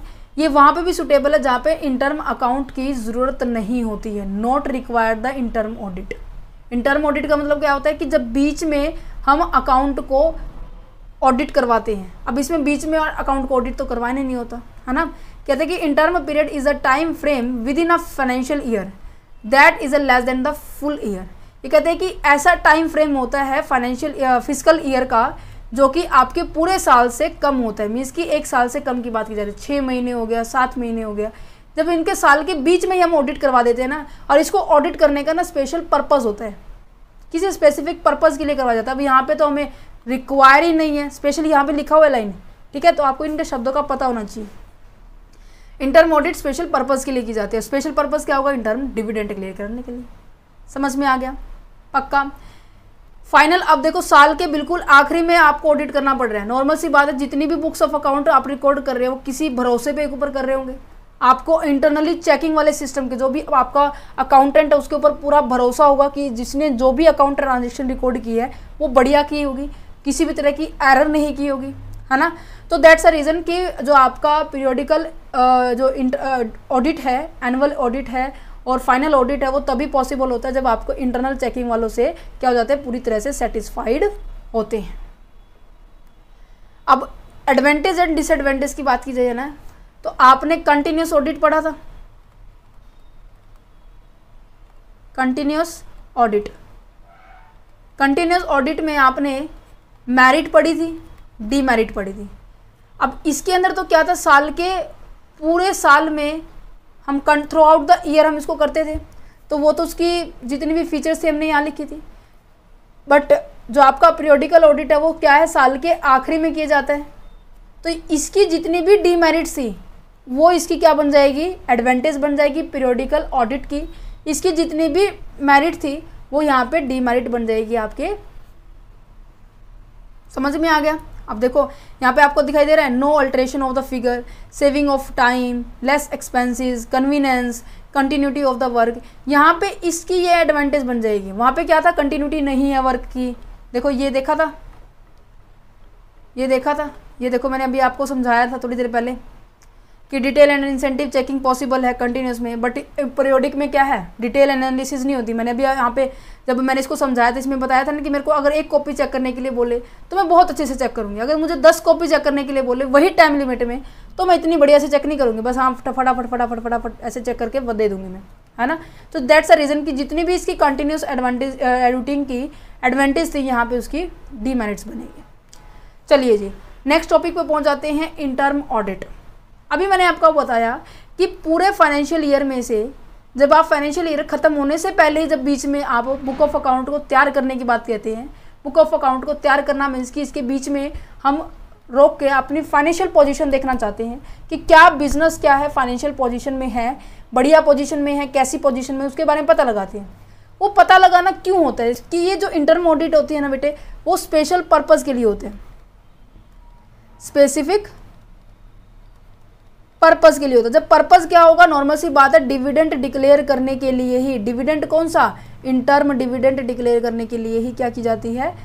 हम इंटरनल इंटर्म ऑडिट करवाते हैं। समझ में आ गया? Book of account are the audit at the time during the course of the financial year at a certain the profit and loss और the financial standing of an enterprises ये कह रहे हैं कि आप अपनी प्रॉफिट एंड लॉस को देखने के लिए सर्टेन करने के लिए कि पूरे फाइनेंशियल ईयर में कितना होने वाला है, कैसे होने वाला है, उसको पर्टिकुलर पते, पता लग जाए। और अगर बढ़िया सिचुएशन में चल रही है ना, बीच में ही ऑडिट करवा के फेयरनेस चेकआउट करवा के, उसे क्या करेगी, उसमें से फिर हम क्या बता देंगे कि हमारी जो कंपनी की जो फाइनेंशियल पोजीशन है ना, वो बढ़िया चल रही है तो हम क्या कर दें? एक सेकेंड फाइनेंशियल पोजीशन हमारी बढ़िया चल रही है तो हम क्या करेंगे? हम अपना डिविडेंड डिक्लेयर कर देंगे before the ending of the financial year ठीक है? इसको, इसे, इस ऑडिट को हम क्या कहेंगे? अपनी बुक ऑफ़ अकाउंट को बीच में ही फाइनेंशियल ईयर के चेकआउट करवाना तो उसे हम क्या कहेंगे? इंटर्म ऑडिट कहेंगे। और ये ऑडिट हम कब करवाते हैं? जब हमारा पास स्पेसिफिक पर्पज़ होते हैं। और वो स्पेसिफिक पर्पज़ क्या है? इंटर्म डिविडेंट को डिक्लेयर करना। ये मोस्टली पता है कौन सी ऑर्गेनाइजेशन में होता है? जो पार्टनरशिप फर्म में होती है। आपने देखा होगा पार्टनरशिप वाला जब जब हमने चैप्टर चैप्टर किया था ना तो उसमें क्या था कि एक पॉइंट आ रहा था change in profit sharing ratio profit sharing ratio के अंदर क्या आ रहा है? चेंज आ रहा है। वो चेंज किस किस कारण से होता था? या तो कोई पर्सन क्या होता था? रिटायरमेंट होती थी उसकी। या फिर किसी पर्सन की क्या हो जाती थी? डेथ हो जाती थी, या फिर कोई पर्सन क्या होता था? ऐड होता था। मीन्स कि कुछ ना कुछ कारण से हमारे प्रॉफिट शेयरिंग रेशो में चेंज होता था, है ना? तो बीच में ही वो छोड़ के जा रहे, तब भी हम क्या करते थे? इंटर्म ऑडिट करवानी हमें पड़ती थी। There is a very circumstances बता रखे कि किन किन सर्कमस्टांसिस में हम इंटर्म ऑडिट करते हैं। सबसे पहला क्या है? In the event of the change in the partnership firm structures partnership firm structure की क्या हो रही है? पोजिशंस क्या हो रही है? चेंज हो रही है। नेक्स्ट क्या है to project the financial status of the enterprisation easy to take a loan means कि अगर आपको फिनेंस की ज़रूरत है, अगर आपको पैसे की ज़रूरत है, आप अपनी फिनेंशियल फाइनेंशियल पोजीशन को शो ऑफ़ करके बैंक से भी क्या कर सकते हो? लोन ले सकते हो। अगर बैंक ने देखा कि आपकी फाइनेंशियल पोजीशन बढ़िया है, बहुत अच्छे से आप काम कर रहे हो, बहुत बढ़िया से आप अपनी प्रोग्रेस कर रहे हो इवनली टाइमली पेमेंट भी करें अपने इवन क्रेडिटर्स का लोन्स का तो बैंक क्या सोचेगी? आपकी बढ़िया फाइनेंशियल पोजीशन है तो हम भी क्या करेंगे? आपको लोन दे देंगे। है ना? तो to to decision about the expansion enlargement and the expansion of the enterprises ये कह रहे हैं कि अगर आपको अपनी ऑर्गेनाइजेशन को फैलाना है, बढ़ाना है एनलार्जमेंट करनी है एनलार्जमेंट का मतलब क्या होता है? एनलार्जमेंट का मतलब ये है कि अगर आप, पहले आप क्या कर रहे थे? केवल एक सामान को आप अपनी दुकान में बेच रहे थे। एग्ज़ाम्पल छोटा सा ले रही हूँ। जैसे कि मैं पहले केवल क्लोथ का बिज़नेस था मेरा गारमेंट्स का बिज़नेस था। अब जैसे ही मैंने सोचा कि दिवाली पे सीज़न बढ़िया आएगा तो मैंने क्लोथ के साथ साथ मैंने क्या कर दिया शूज़ का भी रख लिया। साथ में टाई बेल्ट भी होती है ना जो उनको भी आ, सेल करने के लिए मैंने शुरू कर दिया। तो ये कैसी है कि एनलार्ज किया मैंने मेरे बिज़नेस को, एक पर्टिकुलर क्वांटिटी की बजाय मैंने डिफरेंट डिफरेंट वैरायटीज़ को सेल करना शुरू कर दिया तो इसके लिए भी मुझे क्या करना पड़ेगा? मेरे बीच में ही स्टेटमेंट चेकआउट करनी पड़ेगी कि क्या अभी तक मैं सही पोजीशन पे चल रहा हूँ या नहीं चल रहा हूँ। ऑडिट मुझे इसमें करना पड़ेगा। To ascertain the interim dividend main purpose तो आपका इंटर्म डिविडेंड और पार्टनरशिप की बात की जाती है इसमें। ठीक है? ठीक है जी। अब आ जाते हैं हमारे पास डिफरेंस की बात। कि continuous audit and there is a interim audit के बीच में डिफरेंस क्या है? ठीक है? कंटिन्यूस ऑडिट क्या है? मैं ये डिफरेंस करवाऊँगी देन उसके बाद जितने भी डिफरेंस होंगे ना, आपको आसानी से समझ में आएँगे। क्योंकि जो अभी तक बातें हम करते आए हैं ना, वही बातें एज इट इज़ इसके अंदर एक्सप्लेन की गई है। सबसे पहले ऑब्जेक्टिव स्पेसिफिक ऑब्जेक्टिव किसमें होता है? जल्दी से रिकॉल करो। क्या कंटिन्यूस ऑडिट में स्पेशल ऑब्जेक्टिव था? इंटर्म ऑडिट में था ना? स्पेशल ऑब्जेक्टिव क्या था? कि आपको डिविडेंड डिक्लेयर करना होता है। तो यहाँ पे स्पेशल ऑब्जेक्टिव होता है, यहाँ पर कोई स्पेसिफिक ऑब्जेक्टिव नहीं होते हैं। चलो जी पीरियड की बात की जाए। पीरियड की बात की जाए तो क्या होगी? और जो कंटिन्यूस ऑडिट होती है, वो रेगुलर भी हो सकती है और जो इरेगुलर भी हो सकती है। बताया था ये पॉइंट मैंने आपको सेम एज इट इज़ है। बट इंटर्म ऑडिट की बात की जाए, वो कब कंडक्ट की जाती है? From a part of the accounting year with a some interim purpose कोई पर्पज़ होता है मान लो छठे महीने में आ सकता है पर्पज़ या सातवें महीने में आ सकता है। मीन्स कि इसमें कोई पर्टिकुलर जो पीरियड है डिसाइड नहीं होता। मोस्टली क्या होता है कि हम साल के छठे महीने के अंदर हम इंटर्म ऑडिट करवाते हैं। ठीक है? अब यहाँ पे कंटिन्यूस ऑडिट में सबसे पहली फीचर क्या थी? हम लगातार साल के हम ऑडिट कर रहे हैं throughout the year throughout the year हम ऑडिट करते जा रहे हैं तो नॉर्मल सी बात है डिटेल एंड इंटेंसिव वैसे हम चेकिंग करेंगे। बट यहाँ पे डिटेल एंड इंसेंटिव वैसे कोई चेकिंग नहीं होती। साल के छठे महीने में कर रहे हैं तो नॉर्मल सी बात है, कुछ एक ऐसी एंट्री रह जाएगी जो चेक करनी रह जाएगी, है ना? नेक्स्ट कहते हैं कि फाइनल अकाउंट फाइनल अकाउंट कब प्रिपेयर किया जाता है? इसका तो फाइनल अकाउंट कब प्रिपेयर किया जाएगा? साल के एंड में। बट इसका बीच में ही प्रिपेयर किया दिया। फाइनेंशियल पोजीशन बताइए। तो फाइनल अकाउंट तो तैयार किया होगा ना। तो सिंपल सा लॉजिक है। Final account are not prepare to be audited during the accounting year जैसे जैसे हम ऑडिट करते जा रहे हैं वैसे वैसे हम वहाँ पर फाइनेंशियल अकाउंट नहीं तैयार करेंगे। फाइनेंशियल अकाउंट कैसे तैयार करेंगे? सॉरी फाइनल अकाउंट कब तैयार होगा? जब हमारे पास हम अपनी फाइनल बुक ऑफ़ अकाउंट को ये दिखा रहे हैं कि इतना तो मेरे पास लॉस है, इतना मेरे पास प्रॉफिट है, या फिर मैं दिखाऊँ कि मेरा नेट प्रॉफिट इतना है नेट लॉस मेरे पास इतना है।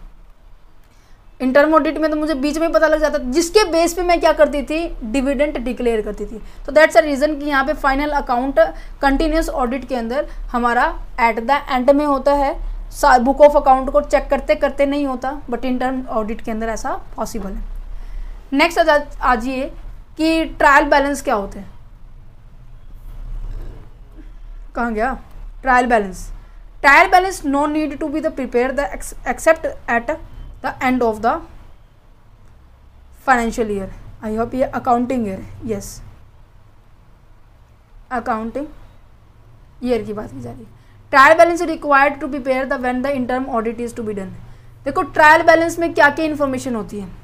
थोड़ा सा मैं आपको बताना चाहूँगी क्योंकि ये जो टॉपिक है ना, बहुत बेसिक सा है और मुझे पता है मोस्ट ऑफ़ बच्चों को ये पता भी नहीं होगा. ट्रायल बैलेंस में सभी तरह के नेचर के आइटम होगी, जिसके अंदर डायरेक्ट खर्चे की भी होगी डायरेक्ट इनकम भी होगी, इनडायरेक्ट खर्चा भी होगा, इनडायरेक्ट इनकम भी होगी, फिक्स्ड नेचर की भी आइटम होगी, इवन हमारे पास एसेट्स भी उसके अंदर गिवन होती है और हमारे पास लाइबिलिटी भी होती है। है ना? अभी कहते हैं कि ट्रायल बैलेंस की हमें ज़रूरत नहीं होती। ज़रूरत किसको होती है ट्रायल बैलेंस की? जिसको बुक ऑफ़ अकाउंट को क्या करना पड़ता है? प्रिपेयर करना पड़ता है। है ना? बुक ऑफ़ अकाउंट को फाइनेंशियल स्टेटमेंट जिसको तैयार करनी पड़ती है। फाइनेंशियल स्टेटमेंट जिसको तैयार करनी पड़ती है। स्टेट फाइनेंशियल स्टेटमेंट में किस किस को लेते हैं हम? एक तो हमारी इनकम स्टेटमेंट होती है, एक हमारे पास क्या होती है? फाइनेंशियल पोजीशन को चेकआउट को करने के लिए होते हैं। फाइनेंशियल स्टेटमेंट में इनकम स्टेटमेंट में कौन कौन से आते हैं? ट्रेडिंग एंड ट्रेडिंग अकाउंट आता है प्रॉफिट एंड लॉस अकाउंट आता है। फाइनेंशियल पोजीशन में बैलेंस शीट आती है। अब नॉर्मल सी बात है बैलेंस शीट में क्या है कौन कौन सी एंट्री आएगी? फिक्स एसेट्स एंड लाइबिलिटी की बात की जाएगी। ट्रेडिंग में कौन सी एंट्री आएगी? सारे के सारे डायरेक्ट खर्चे और इनकम की बात की जा रही है। प्रॉफिट एंड लॉस अकाउंट में कैसी आएगी? इनडायरेक्ट में आएगी। अब ये पूरा फाइनेंशियल स्टेटमेंट ही नज़र आ रहा है तो नॉर्मल सी बात है इंटर्म ऑडिट में इसकी ट्रायल बैलेंस की ज़रूरत होती है। और इसके अंदर तो हमारी ज़रूरत भी नहीं होती है है ना? नेक्स्ट आ जाता है verification verification of assets and liability at the end done at the end of the accounting year यहाँ पर वेरिफिकेशन uh, जो आपकी एसेट्स होती है लाइबिलिटीज होती है जितनी भी ट्रांजेक्शन आपने की हुई है वो कब होगी? At the end of the accounting year but यहाँ पे वेरिफिकेशन आपकी जब जिस टाइम हम इंटरम ऑडिट कर रहे हैं, उस टाइम हमारे पास क्या होगा? हम ऑडिट करते हैं। समझ में आ गया? क्या सबको समझ में आ गया ये कंसेप्ट आई होप आसान सा था, कुछ इतना मुश्किल भी नहीं था। चलिए जी कैश ऑडिट के ऊपर बढ़ते हैं। कैश ऑडिट क्या होता है? व्हेन एन इंस्टीट्यूशन और the enterprises appoint auditor to check the cash transaction for a particular period बस इतना सही है। इतना ही है सच में इतना ही है। क्या कह रहा है? अब देखो नाम से क्लियर हो रहा होगा कि कैश ऑडिट मेरी हँसी क्यों छुट्टी क्योंकि मैं ऑलरेडी एक्सप्लेन कर चुकी हूँ। मैं सोच रही हूँ कि इसको एक्सप्लेन ना करूँ बट फिर ये कहेंगे कमेंट में मैम आपने टॉपिक छोड़ दिया है ना? यस yes, एक बात और है अगर आपको ये चैप्टर समझ में आ रहा है अगर आपको ये चैप्टर्स की जो सीरीज़ में लेके आ रही हूँ इवन फाइनेंशियल मैनेजमेंट है फाइनेंशियल मैनेजमेंट है ऑडिटिंग का कंसेप्ट कर रहे हैं इनकम टैक्स है इनके अंदर अगर कोई सी भी तरह की दिक्कत आ रही है आप कमेंट कीजिए व्हाट्सएप नंबर अवेलेबल है अपने डाउट्स पूछिए इवन आप अपने ईमेल आईडी भी अवेलेबल है आपके पास सब चीज़ें अवेलेबल है आप उन सब का यूज़ करके आप मुझसे अपने डाउट्स क्लियर कर सकते हैं। ठीक है? मैं पूरी कोशिश करूँगी कि आपके डाउट्स का रिप्लाई करूँ क्योंकि इतने सारे आ, वही बात आ जाती है ना कि एक कॉपी चेक करूँ तो मैं अच्छे से करूँगी और इतनी सारी आ जाए तो आपके ऊपर भी बर्डन बढ़ जाएगा है ना? तो दैट्स अ रीज़न कि मैं आप हर मैं पूरी कोशिश करूँ कि मैं एक एक बच्चे का रिप्लाई करूँ। इतने सारे कमेंट्स हो जाते हैं, मैं सबका रिप्लाई करने में थोड़ा सी असमर्थ हो जाती हूँ। तो दैट्स अ रीज़न बट फिर भी आप कमेंट ज़रूर करना। इवन लेक्चर अच्छा लगे, बुरा लगे, सबके बारे में एक्सप्लेन करना है। बुरा लगेगा तो नॉर्मल सी बात हम कोई ना कोई इंप्रूवमेंट ज़रूर करेंगे। अच्छा लगा तो कहीं ना कहीं हमें मोटिवेशन मिलेगा। राइट लेना हमें पॉजिटिव ही है। क्योंकि आपको पढ़ाना जो है ना हमें, है ना? तो चलो कैश ऑडिट क्या है? कैश ऑडिट की बात की जाए तो कैश ऑडिट कैसा होता है ऑडिट होता है, जो केवल कैश ट्रांजेक्शन के बारे में और वो भी पर्टिकुलर पीरियड के दौरान। ठीक है पर्टिकुलर पीरियड हमें डिसाइड किया जाएगा कि आपको केवल अक्टूबर की ही ट्रांजेक्शन रिकॉर्ड करनी है, आपको केवल नवंबर की ही ट्रांजेक्शन रिकॉर्ड करनी है। दैट मीन्स एक पर्टिकुलर पीरियड डिसाइड कर दिया जाता है कि आपको यहाँ से यहाँ तक ही ऑडिट करना है। ठीक है? और वो भी किसकी ट्रांजेक्शन्स कैश की ट्रांजेक्शन्स मीन्स कि यहाँ पर एक तरह से लिमिटेशंस बाउंड कर दी गई हैं, है ना? मैंने आपको ये पढ़ाया था, एक सेकेंड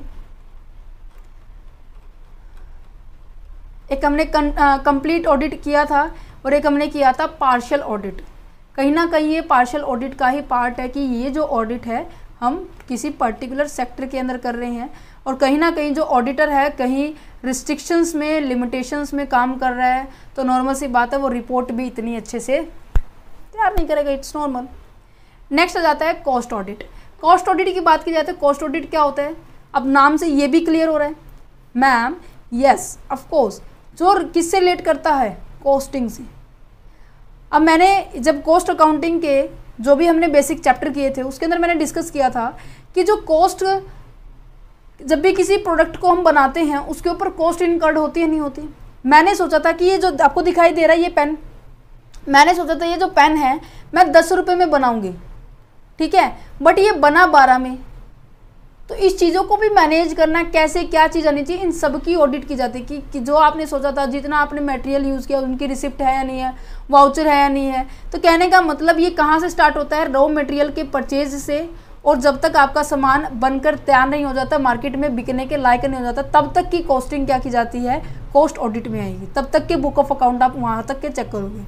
क्या आपने ये पढ़ा है? सेल्स होती है जिसके अंदर वेरिएबल कॉस्ट हम माइनस करते हैं तो हमारे पास क्या जाता है? कॉन्ट्रीब्यूशन आ जाता है। कॉन्ट्रीब्यूशन में से अगर मैं फिक्स कॉस्ट को माइनस कर दूँ तो मेरे पास क्या आएगा? मेरे पास आएगा ई बी आई टी ओह ओह इतना क्यों भाग रहा है? पढ़ाने दे बच्चों को मुझे। तो यहाँ पे इसके बारे में इसके बारे में कॉस्ट के बारे में कॉस्ट की रिगार्डिंग बात हो रही है तो इनकी ऑडिट भी क्या की जाती है? कॉस्ट ऑडिट के बारे में नाम ना, नाम से जानते हैं इसको। देखो क्या लिखा हुआ है? Cost audit is the auditing of the costing system costing system के बारे में बात कर रहे हैं। Confirm the to the objective of the cost accounting cost accountancy का ऑब्जेक्टिव को देखा जाता है कि जो हमने सोचा था, जो हमने स्टैंडर्ड सेट किए थे, क्या स्टैंडर्ड हमारे एक्चुअल के साथ कंपेयर हो रहे हैं? एक्चुअल के साथ सही मैच हो रहे हैं? अगर स्टैंडर्ड कम है एक्चुअल ज़्यादा मैंने सोचा कि दस रुपये में बन जाएगा बट वो बना बारह में। तो कहीं ना कहीं तो लॉस नज़र आ रहा है। मैंने सोचा था दस में बन गया, पाँच में। वाह कितने बढ़िया मैनेजमेंट करने वाला कितना बढ़िया प्रोडक्शन करने वाला है है ना? तो ये सभी चीज़ें हम देखते हैं। The auditing start from the purchase of the raw material cover the cost of the manufacturing process and the cost of the till the end the product is ready to the marketed जब तक market में जाने के लिए वो सामान properly तैयार नहीं हो जाता ना तब तक की जो अकाउंटिंग होती है वो उसमें तैयार की, की जाती है। अब यहाँ पर देखो मैंने अभी यही बताया कि मैन्युफैक्चरिंग से रॉ मटेरियल से लेके मार्केट तक जाने मतलब फैक्ट्री तक का जितना भी खर्चा होगा ना, वो वहाँ तक बात की जाएगी। फैक्ट्री से बाद वो क्या जाएगा? मार्केट में जाएगा। मार्केट का कोई लेना देना नहीं है इससे, ठीक है? वो बस केवल यहाँ यहाँ की ट्रांजेक्शन्स को क्या करने वाला है? रिकॉर्ड करने वाला है, ठीक है? इन इन ट्रांजेक्शन्स को वो रिकॉर्ड करेगा यहाँ तक। और यहाँ तक की जितनी भी कॉस्ट आई है, उनको रिकॉर्ड करेगा, बता, देखेगा कि मैन्युफैक्चरिंग प्रोसेस हो गई है। प्रोसे मैन्युफैक्चरिंग हो गई है प्रोसेसिंग हो गई है माइनिंग कंपनीज़ के लिए इस कॉस्ट ऑडिटर्स को अपॉइंट करना ज़रूरी होते हैं। चलिए जी नेक्स्ट पॉइंट आ जाता है मैनेजमेंट अकाउंटिंग का। मैनेजमेंट सॉरी मैनेजमेंट ऑडिट मिलेगा यहाँ पे?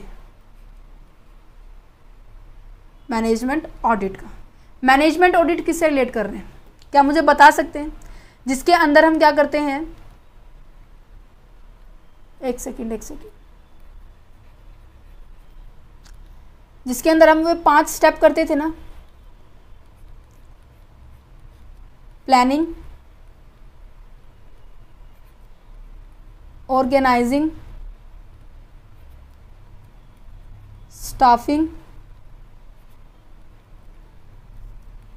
directing and controlling है ना? ये पाँचों स्टेप हम करते थे ना managing planning organising staffing directing controlling इनकी भी ऑडिट की जाती बेटे।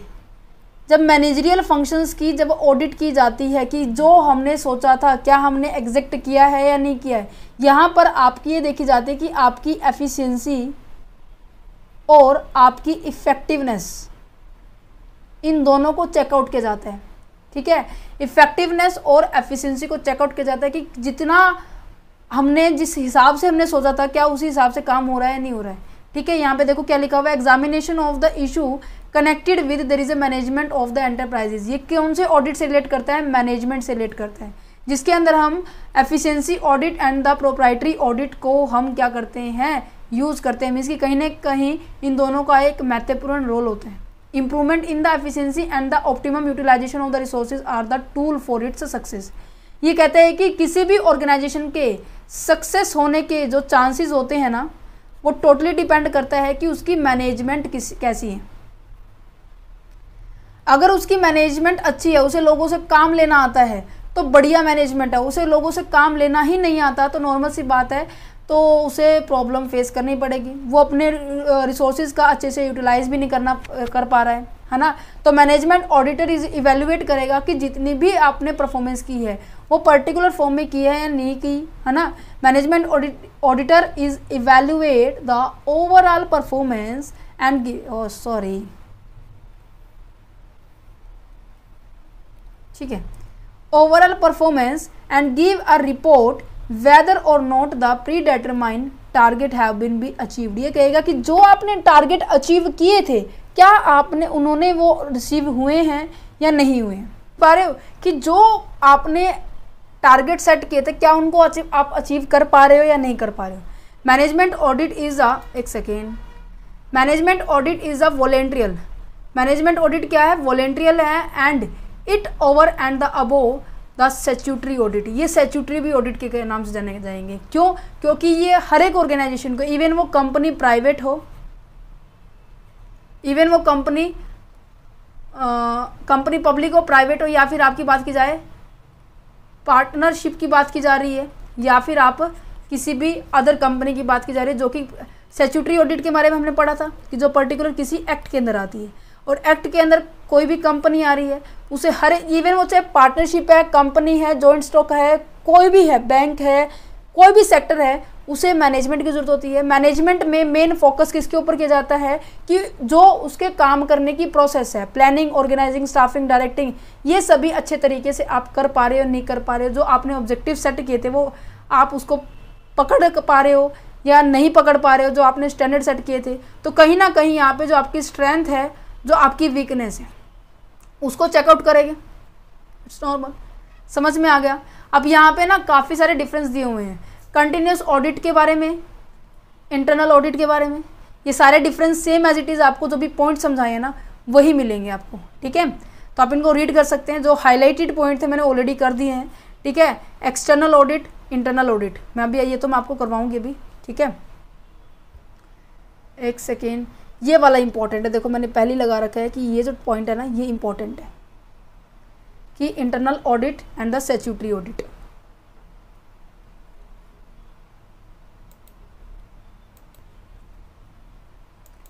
समझ में आ गया?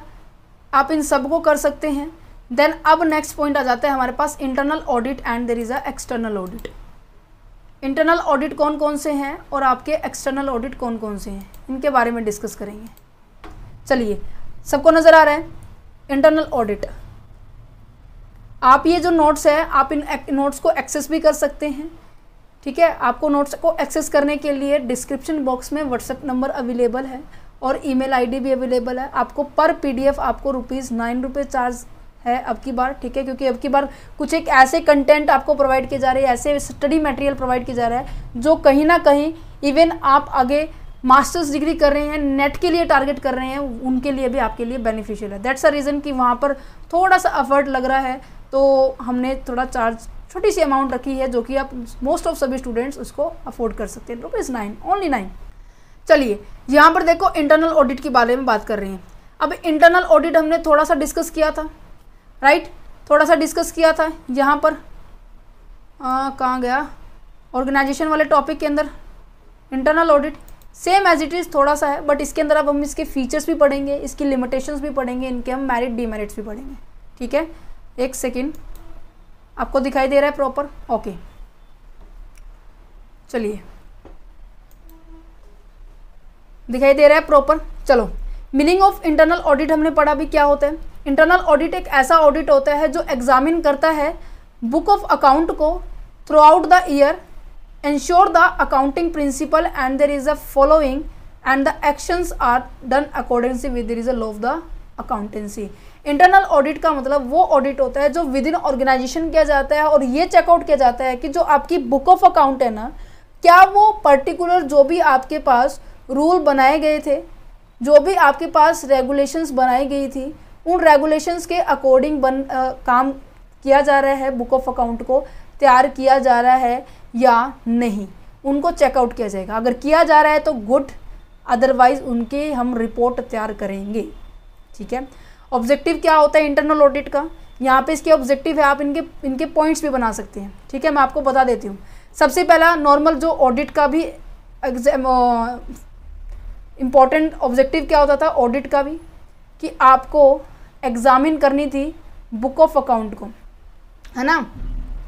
ये देखो, मैं आपको इसको हाईलाइट भी कर देती हूँ इसको। Examine the book of account book of account को क्या किया जाता है? एग्जामिन किया जाता है by the employee responsible for the managing the account जो उस बुक ऑफ़ अकाउंट को तैयार कर रहे हैं ना, वो क्या करेगा? उस चीज़ को पर्टिकुलर वे में ऑडिटर के जब वो ऑडिट पर्सन उसे चेक करेगा ना तो उसे ये देखेगा कि जो भी एम्प्लॉय ने तैयार किया है, वो ठीक है या नहीं है। ठीक है? उस बुक ऑफ़ अकाउंट को तैयार करेगा जो कि तैयार की गई है एम्प्लॉय के द्वारा। नेक्स्ट क्या है? Detect error and fraud on the account accounts के अंदर जितनी भी एरर और फ्रॉड है, उनको क्या किया जाएगा? चेकआउट किया जाएगा। कंप्ली सेकेंड ऑब्जेक्टिव क्या है? Compliances with the acceptance principle and the procedure ये देखा जाएगा कि जितनी भी रूल रेगुलेशंस आपको दी गई है, क्या आप उनका अनुपालन कर रहे हैं या नहीं कर रहे हैं? मीन्स की कंप्लेंसिस का मतलब क्या होता है कि फॉलो करना। आप उस चीज़ को फॉलो कर पा रहे हैं नहीं कर पा रहे फोर्थ ऑब्जेक्टिव क्या आ जाएगा हमारे पास? Identify and the address shortcoming जितनी भी आपके पास जो शॉर्ट कमिंग है, उनके बारे में क्या पता पता लगाया जाता है कि कितने, क्या चीज़ हमारे पास कमी नज़र आ रही है, क्या चीज़ हमारे पास क्या है जो कि हमारे पास कहने का मतलब मैं अगर वो बताऊँ कि कहाँ कहाँ हमारे ऑर्गेनाइजेशन की कमी नज़र आ रही है, उसके ऊपर फोकस किए जा रहे हैं। नेक्स्ट क्या है? Ensure the smooth functioning of the enterprises enterprise जो आपका बिज़नेस है, उसकी फंक्शनिंग प्रॉपर हो रही है, नहीं हो रही है mentor the employ performance performance जितनी भी है एम्प्लॉयज़ की, उसको चेकआउट किया जा रहा है। नेक्स्ट अगर बात की जाए तो यहाँ पर make a suggestions for a improvement in the organisation structure organisation structure में उनकी इंप्रूवमेंट के ऊपर भी फोकस किया जा रहा है। समझ पा रहे हो? तो यहाँ पे सबसे पहला क्या होगा? Examine the book of account detection करना आपके फ्रॉड्स को। ठीक है? फिर ये चेकआउट करना कि जितने भी कंप्ले जितने भी रूल रेगुलेशन है प्रिंसिपल है प्रोसीडर है, आप उनको चेकआउट प्रॉपर वे से अनुपालन कर रहे हो कंप्लेंसिस कर रहे हो या नहीं कर रहे फोर्थ नंबर पे क्या है? Identified the address and shortcoming की बात की जा रही है। फिर ये देखना कि हमारे बिज़नेस अच्छे से चल रहा है या नहीं चल रहा। अगर चल रहा है तो उसे किस तरीके से और आगे इम्प्रूव किया जा सकता है। उन सभी के बारे में आप क्या किया जा सकता है? बताया जा सकता है। आई होप इतना समझ में आ गया होगा। चलिए जी। नेक्स्ट पॉइंट पे आ जाते हैं कि importance of the internal audit internal audit की इंपॉर्टेंस क्या है? इंपॉर्टेंस क्या है? इंटरनल ऑडिट अब देखो इंटरनल है तो ऑर्गेनाइजेशन के विद इन जो एम्प्लॉई है ना, उसकी बात की जा रही थी। सैलरीड पर्सन था ये। ये बात की थी हमने कि ये सैलरीड पर्सन है। सैलरीड पर्सन है तो विद इन ऑर्गेनाइजेशन की बात की जा रही थी, है ना? याद है ये चीज़ें जो अभी मैंने आपको समझाया था? चलो जी। तो नॉर्मल सी बात है, ये कंटिन्यूस लेवल पे हो रही है। है ना? ऑर्गेनाइजेशन के अंदर ही पर्सन है, उसको भी सैलरी दे रहे हैं, बारह महीने की सैलरी दे रहे हैं। तो नॉर्मल सी बात है कि कैसे ऑर्गेनाइजेशन होगी ये? लार्ज ऑर्गेनाइजेशन होगी, ठीक है? और यहाँ पर ये हेल्प करता है मैनेजमेंट की प्रॉब्लम को शॉर्ट आउट करने में pin point the short coming short coming को निकालने में improving the accounting practice practice जितनी भी मतलब कि जितनी भी बुक ऑफ़ अकाउंट तैयार की जा रही है ना, उसके अंदर किस तरीके से और बढ़िया तरीके से नतीजे ला सकते हैं? उनके अंदर काम करता है ये। प्रिवेंट द लॉसेस लॉसेस से होने से बचाता है। मीन्स कि आप इसको ख़त्म तो नहीं कर सकते लॉस को बट थोड़ा सा कम ज़रूर कर सकते with the help of the auditing क्योंकि ऑडिटिंग में हम क्या पकड़ते हैं? जितनी भी एरर होती है, जितने भी फ्रॉड होते हैं। अगर मैं कहूँ कि आपकी बुक ऑफ़ अकाउंट में चार पाँच सौ रुपये की एंट्री करनी थी बट आपने कर दी एक हज़ार रुपये की एंट्री डेबिट साइड पाँच सौ की, क्रेडिट साइड एक हज़ार की। तो कहीं ना कहीं जो पाँच सौ रुपये का नुकसान जो होने वाला था कंपनी को, उसके बारे में बचा तो सकता है ना है ना? तो and add in there is a final audit हम फाइनल ऑडिट को रिप्रेजेंट कर सकते हैं। अब अगर बात की जाए तो ऑडिटर की क्वालिफिकेशन क्या होती है? वैसे कोई प्रॉपरली डिफाइन तो नहीं किया कि फाइनल जो ऑडिटर की कोई क्वालिफिकेशन है प्रॉपरली कोई डिफाइन नहीं है। एक सेकेंड प्रॉपरली कोई डिफाइन नहीं है बट फिर भी ये कहा जाता है कि जो ऑडिटर होना चाहिए, वो कैसा होना चाहिए? वो अपने ऑर्गेनाइजेशन के अंदर इतना, अपनी स्किल के अंदर इतना एफिशिएंट होना चाहिए कि किसी पर्टिकुलर ऑर्गेनाइजेशन के अंदर, उसके मैनेजमेंट के अंदर डिसीज़न लेने में थोड़ा सा आपको मदद करे। ठीक है? यहाँ पे क्या कह रहे हैं? The qualification of the audit internal audit depend upon the internally scenario of the enterprisation and the decision of the management management के डिसीज़न के ऊपर डिपेंड करता है क्यों? क्योंकि मैनेजमेंट में जो डिसीज़न लिए जाएँगे, वो उन्हीं को पता होंगे कितने हाई लेवल के डिसीज़न लिए जा रहे हैं, कितने लो लेवल के डिसीज़न लिए जा रहे हैं। उनके बेस पर हम क्या करेंगे? हम ऑडिटर की क्वालिफिकेशन डिसाइड करेंगे। मोस्टली क्या होता है कि ये माना जाता है कि जो ऑडिटर को एज ए चार्टेड अकाउंटेंट की तरह उसे प्रॉपर नॉलेज होनी चाहिए। अकाउंट्स की प्रॉपर नॉलेज होनी चाहिए। बुक ऑफ़ किस तरीके से कोई प्रॉपर रूल अप्लाई हो रहा है। कौन सी आइटम ऐसी है जो रिवेन्यू नेचर की है? कौन सी ऐसी आइटम है जो कैपिटल नेचर की है, उनको प्रॉपरली वो क्या कर पाए? आइडेंटिफाई कर पाए। ठीक है? नेक्स्ट आ जाता है advantage of the internal audit अब जो मोस्टली जो कंटिन्यूस ऑडिट की आपको फीचर्स थी, कहीं ना कहीं से थोड़ा सा मैच करेगी। बट इंटरनल ऑडिट में और ज़्यादा आपको बेनिफिटेड है। रीज़न क्या है? Defining the policy and the procedure policy और प्रोसीडर को डिफाइन कर सकते हैं। क्यों? इंटरनल ऑडिट क्या हमें हेल्प करता है इंश्योर करता है? जितनी भी पॉलिसी है, जितने भी प्रोसीडर है, ऑर्गेनाइजेशन के अंदर वो कहीं ना कहीं डिस्क्रिपेंसीज जितनी भी होती है, उसके ऊपर अटेंशन आता हैं। मीन्स की जितनी भी जो बुरी संगति है ना ऑर्गेनाइजेशन के मेंबर्स की, उसके बारे में भी पता लगाता है। अगर नॉर्मल सी बात है मैनेजमेंट कहते हैं ना सक्सेस तभी माना जाता है सक्सेस किसके ऊपर डिपेंड है? मैनेजमेंट के ऊपर। मैनेजमेंट क्या जब तक अपने एम्प्लॉय को पहचानेगी नहीं एम्प्लॉय के काम करने के तरीके को नहीं पहचानेगी, क्या वो सक्सेस हो सकती है? तो इंटरनल ऑडिटर के थ्रू हम क्या कर पा रहे हैं? इन, इस तरह के पर्सन को भी ढूंढ पाएँगे पॉलिसी में कुछ कमी है, उनको भी ढूंढ पाएँगे, जितना भी प्रोसीडर में। मान लो कि कोई काम चार प्रोसेस में होता है, इन मेम्बरों ने केवल दो ही प्रो तीन प्रोसेस में काम कर दिया, तीसरा फोर्थ प्रोसेस अप्लाई ही नहीं की। तो कहीं ना कहीं ऑडिट के अंदर हमें पता लगा सकते हैं। चलो जी प्लानिंग एंड कंट्रोल कर सकते हैं। ये तो बहुत इंपॉर्टेंट फ़ंक्शन है। नॉर्मल सी बात है। कंट्रोलिंग का पॉइंट पता है आपको? प्लस टू क्लास में पढ़ते थे। कंट्रोलिंग के अंदर मतलब क्या होता है? कि जब आप स्टैंडर्ड के साथ अपने एक्चुअल को कंपेयर करते हैं और जो बीच में गैप आता है, जो बीच में डेविएशंस आती है, अगर वो डेविएशंस टॉलरेंसी लिमिट के अंदर अंदर है तो कहीं ना कहीं हम सरवाइव कर जाएँगे। अगर टॉलरेंसी लिमिट से ज़्यादा हो गया तो कहीं ना कहीं हम सर्वाइव नहीं कर पाएँगे। तो वो अपने प्रॉफिट को भी इफ़ेक्ट करेगी। तो यहाँ पे क्या कह रहे हैं कि internal audit at in a planning business activity planning business activity का भी एक बढ़िया पार्ट है। क्यों? क्योंकि डिफाइन ये कहते हैं defining the profit oriented procedure and the assisting in the overall business control overall business control के बारे में भी हमें ये बताता है। ठीक है? Reducing the iron and fraud this is a basic objective है। Preventing the capital erosion capital erosion जैसे कि रस्टिंग ऑफ़ आयरन वाला कंसेप्ट पढ़ते हैं ना कि आ, लोहे को जंग लगने से बचाना। इसी तरह से कैपिटल को खराब होने से बचाया जा सकता है है ना? कैपिटल कहाँ इन्वेस्ट करनी चाहिए कैसे इन्वेस्ट करनी चाहिए ये सभी टॉपिक यहाँ पर बताते हैं। Improving the internal control internal control को भी हम क्या कर सकते हैं? इम्प्रूव कर सकते हैं। बेसिक बेसिक पॉइंट है बेटा ये तो इसको मैं कहूँगी बार बार समझाएँगे तो नॉर्मल सी बात है। सेम आ जाएगा। Standardising the employ functions employ का किसका कितना काम है, कैसे कौन परफॉर्म करेगा all things are explain in the auditing और सब कुछ बता देगा ऑडिटर किसने इतना काम नहीं जब ये कहते हैं ना कि जब एक प्रोसेस के ऊपर काम होता है, कि ये जब तक काम नहीं करेगा तो नेक्स्ट पर्सन ए भी नहीं करेगा ए काम नहीं करेगा तो बी भी नहीं काम करेगा। तो कहीं ना कहीं हर एक चीज़ को स्टैंडर्डाइज पॉइंट ऑफ़ व्यू से रखा गया है, जिसके कारण जो एम्प्लॉय की परफॉर्मेंस अगर ये पता है ना कि ये तभी काम करेगा जब ये दो करेंगे तो इन दोनों की परफॉर्मेंस में भी क्या हो जाएगी? एफिशिएंसी इंक्रीज हो जाएगी। इंटरनल ऑडिट की क्या क्या डिसएडवांटेज है? अनहैप्पी एम्प्लॉय अनहैप्पी एम्प्लॉय के बारे में अगर बात की जाए तो क्या है? Internal auditors are the unhappy और the dissatisfied with the organisation management और वर्क इन्वायरमेंट देयर सर्विस में नॉट बी हैप्पी समझ पा रहे हो?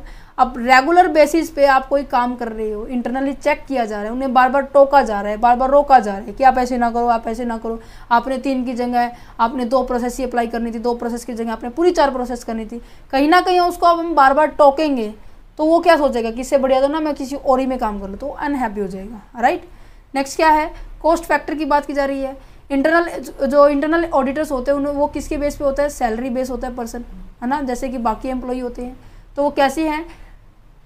Internal audit department can be only be establishment in the big organisation बड़ी ऑर्गेनाइजेशन के लिए सुटेबल है बट छोटी के लिए सुटेबल नहीं है। ये अफोर्ड नहीं कर पाएगी इस चीज़ को।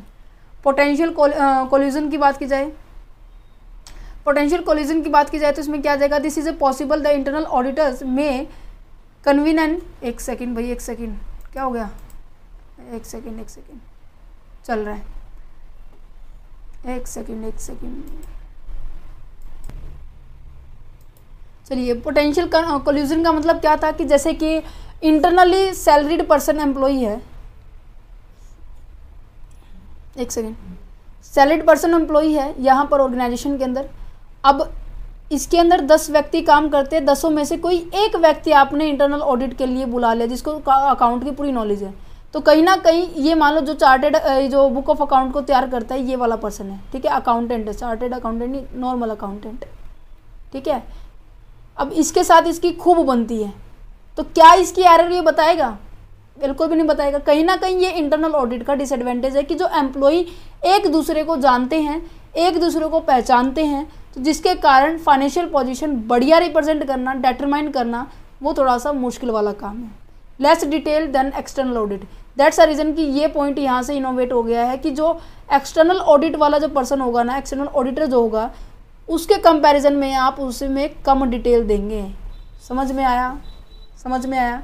ठीक है। अब मैं यहाँ पर अगर कंक्लूजन ड्रॉ करूँ तो इंटरनल ऑडिट कहीं ना कहीं आप डिटेल चेकिंग के लिए, है ना इंटेंसिव चेकिंग के लिए कर सकते हैं। ठीक है रेगुलर बेसिस पे आप अपने स्ट्रेंथ वीकनेस के बारे में पता लगा सकते हैं। आप अपने ऑर्गेनाइजेशन में किस तरीके से कोई काम चल रहा है, उसके बारे में पता लगा सकते हैं। है ना? मैनेजमेंट के डिसीज़न में हेल्प लेते हैं। इनके लिए तो बेनिफिटेड है बट ये केवल सुटेबल केवल लार्ज ऑर्गेनाइजेशन के लिए नेगेटिव पॉइंट ये है।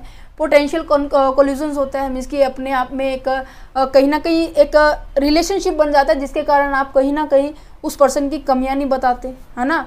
कॉस्ट फैक्टर ज़्यादा होता है एक्सटर्नल ऑडिट इसके लिए, इसके कंपैरिजन में ज़्यादा बेस्ट है। अब यही आ जाता है एक्सटर्नल ऑडिट क्या होता है?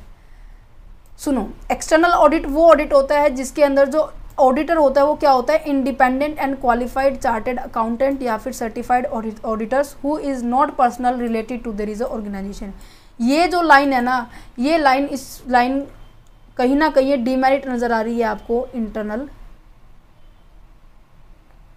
ऑडिट की।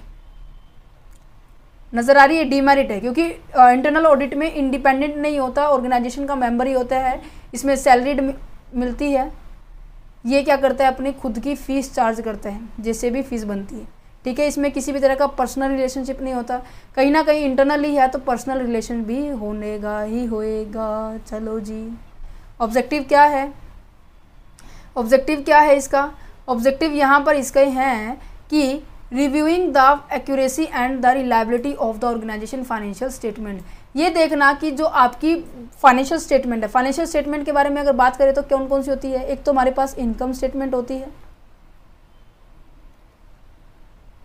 और एक हमारे पास फाइनेंशियल पोजीशन होती है। फाइनेंशियल स्टेटमेंट के दो ही पार्ट होते हैं ना। अभी मैंने आपको बताया था, यहाँ पर डिफरेंस में बताया था। कहाँ गया डिफरेंस अच्छा ये बहुत ऊपर गया हुआ है।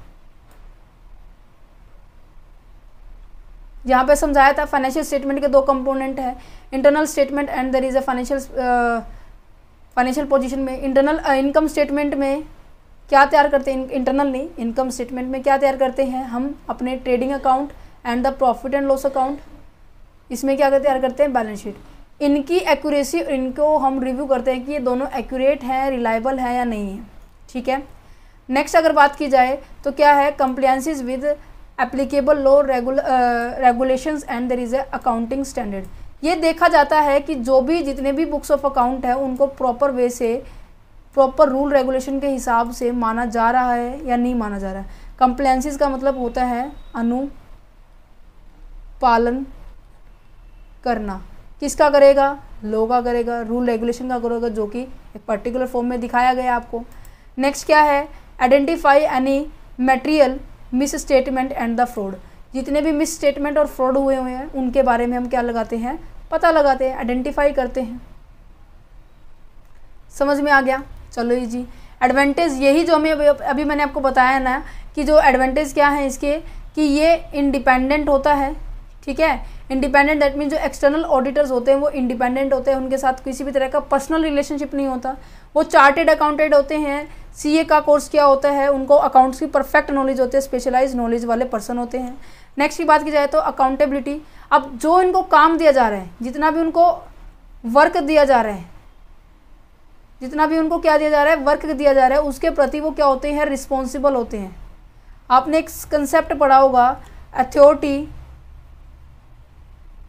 अथॉरिटी रिस्पॉन्सिबिलिटी और आपका है अकाउंटेबिलिटी।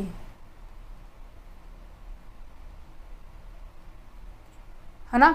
तो ये कंसेप्ट वहीं से है कि अगर आप किसी को काम दे रहे हो ना, अथॉरिटी दे रहे हो अकाउंट को चेक करने की तो ये कहीं ना कहीं आपकी रिस्पॉन्सिबिलिटी है। रिस्पॉन्सिबिलिटी, अथॉरिटी दोनों एक साथ मूव करती है। अगर आपको अकाउंटेबिलिटी चाहिए तो कहीं ना कहीं आपको उसको अथॉरिटी देनी पड़ेगी, ठीक है? नेक्स्ट क्या है? Stakeholders confidence stakeholder confidence का मतलब क्या आता है? एक्सटर्नल पार्टीज़ जो आपकी कंपनी के लिए आपको एक इम्पोर्टेंस देती है। कहीं ना कहीं यहाँ पे आ जाता है कि जो भी पर्सन जो आपकी कंपनी के रिगार्डिंग क्या हो? इंटरेस्टेड हो। इंटरेस्टेड है। उन पर्सन को क्या कहते हैं? स्टेक होल्डर इवन उसमें कुछ भी आ सकते हैं। लैंडर्स भी आ सकते हैं जो आपको पैसे देते हैं या शेयर होल्डर आ सकते हैं इन्वेस्टर्स आ सकते हैं गवर्नमेंट आ सकते हैं बैंकिंग सेक्टर आ सकते हैं, कुछ भी आ सकते हैं। उनके लिए भी क्या है, ये कहीं ना कहीं पॉजिटिव पॉइंट उनके लिए भी एक कॉन्फिडेंस क्रिएट करता है कि इनकी, इस कंपनी की बुक ऑफ़ अकाउंट क्या है, बिल्कुल ट्रू है। समझ में आ गया? आज हमने कौन कौन से टॉपिक्स इन सभी टॉपिक्स के बारे में डिस्कस कर लिया है। एक टॉपिक तो हमारे पास क्या था कि हमने ऑर्गेनाइजेशन ऑर्गेनाइजेशन ऑडिट के बारे में पढ़ा, जिसके अंदर हमने चार पॉइंट्स को डिस्कस किया है। फ़र्स्ट पॉइंट क्या था कि हमारा स्टैचुरी लिमिटेड स्टैचुरी ऑडिट था। स्टैचुरी ऑडिट था, ठीक है? एक हमारा था, क्या था वही, प्राइवेट प्राइवेट ऑडिट था। एक हमारे पास गवर्नमेंट ऑडिट था, एक हमारे पास इंटरनल ऑडिट थे। ठीक है। प्रैक्टिकल के पॉइंट ऑफ़ व्यू से अगर बात की जाए प्रैक्टिकली हमने कौन कौन से पॉइंट याद किए हैं? सबसे पहले कंप्लीट ऑडिट हमने डिस्कस किया। हमने पार्शल ऑडिट को डिस्कस किया। थर्ड हमने क्या डिस्कस किया? कंटिन्यूस ऑडिट को हमने डिस्कस किया।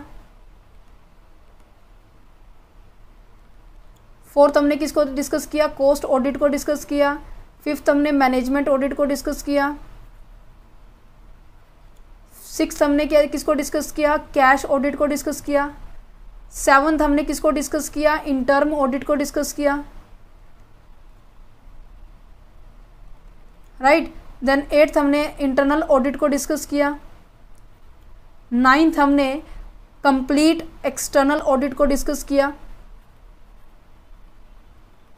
इनके मेरिट डीमेरिट सुटेबिलिटी पढ़ी, इनके भी डीमेरिट मेरिट डीमेरिट्स करी, और साथ ही साथ हमने इनके डिफरेंस भी पढ़े। ये देखो, हमने इतने मतलब कि पूरी एक वीडियो के अंदर ये सारा का सारा कंटेंट पढ़ लिया विद नोट्स मैं आपको प्रोवाइड कर रही हूँ तो कहीं ना कहीं ये जो वीडियो है, आपके नेक्स्ट चैप्टर को क्लियर करने के लिए इवन प्रीवियस चैप्टर की नॉलेज लेने के लिए ये वीडियो बहुत ज़्यादा इंपॉर्टेंट और यहाँ से पंद्रह से बीस नंबर तो आराम से आएँगे ही आएँगे।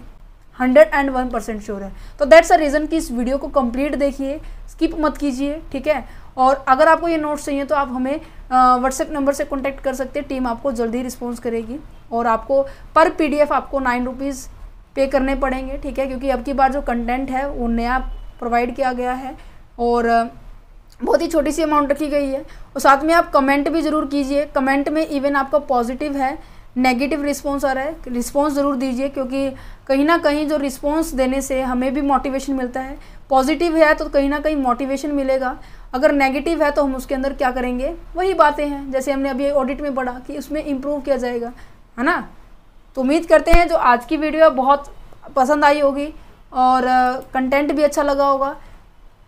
मिलते हैं नेक्स्ट वीडियो के अंदर, जिसके अंदर हम ऑडिट प्रोग्रामिंग को डिस्कस करेंगे। ठीक है? ऑडिट प्रोग्रामिंग होती क्या है? कैसे हम इसको करते हैं क्या क्या इसके अंदर एक्टिविटीज़ है वेरिफिकेशन वाउचर की वह कैसे हेल्प करते हैं, ये सभी टॉपिक उसके अंदर डिस्कस करेंगे। ठीक है? Thank you for watching this video have a nice day and all the very best exam बहुत अच्छे होंगे आप लोगों के। ठीक है?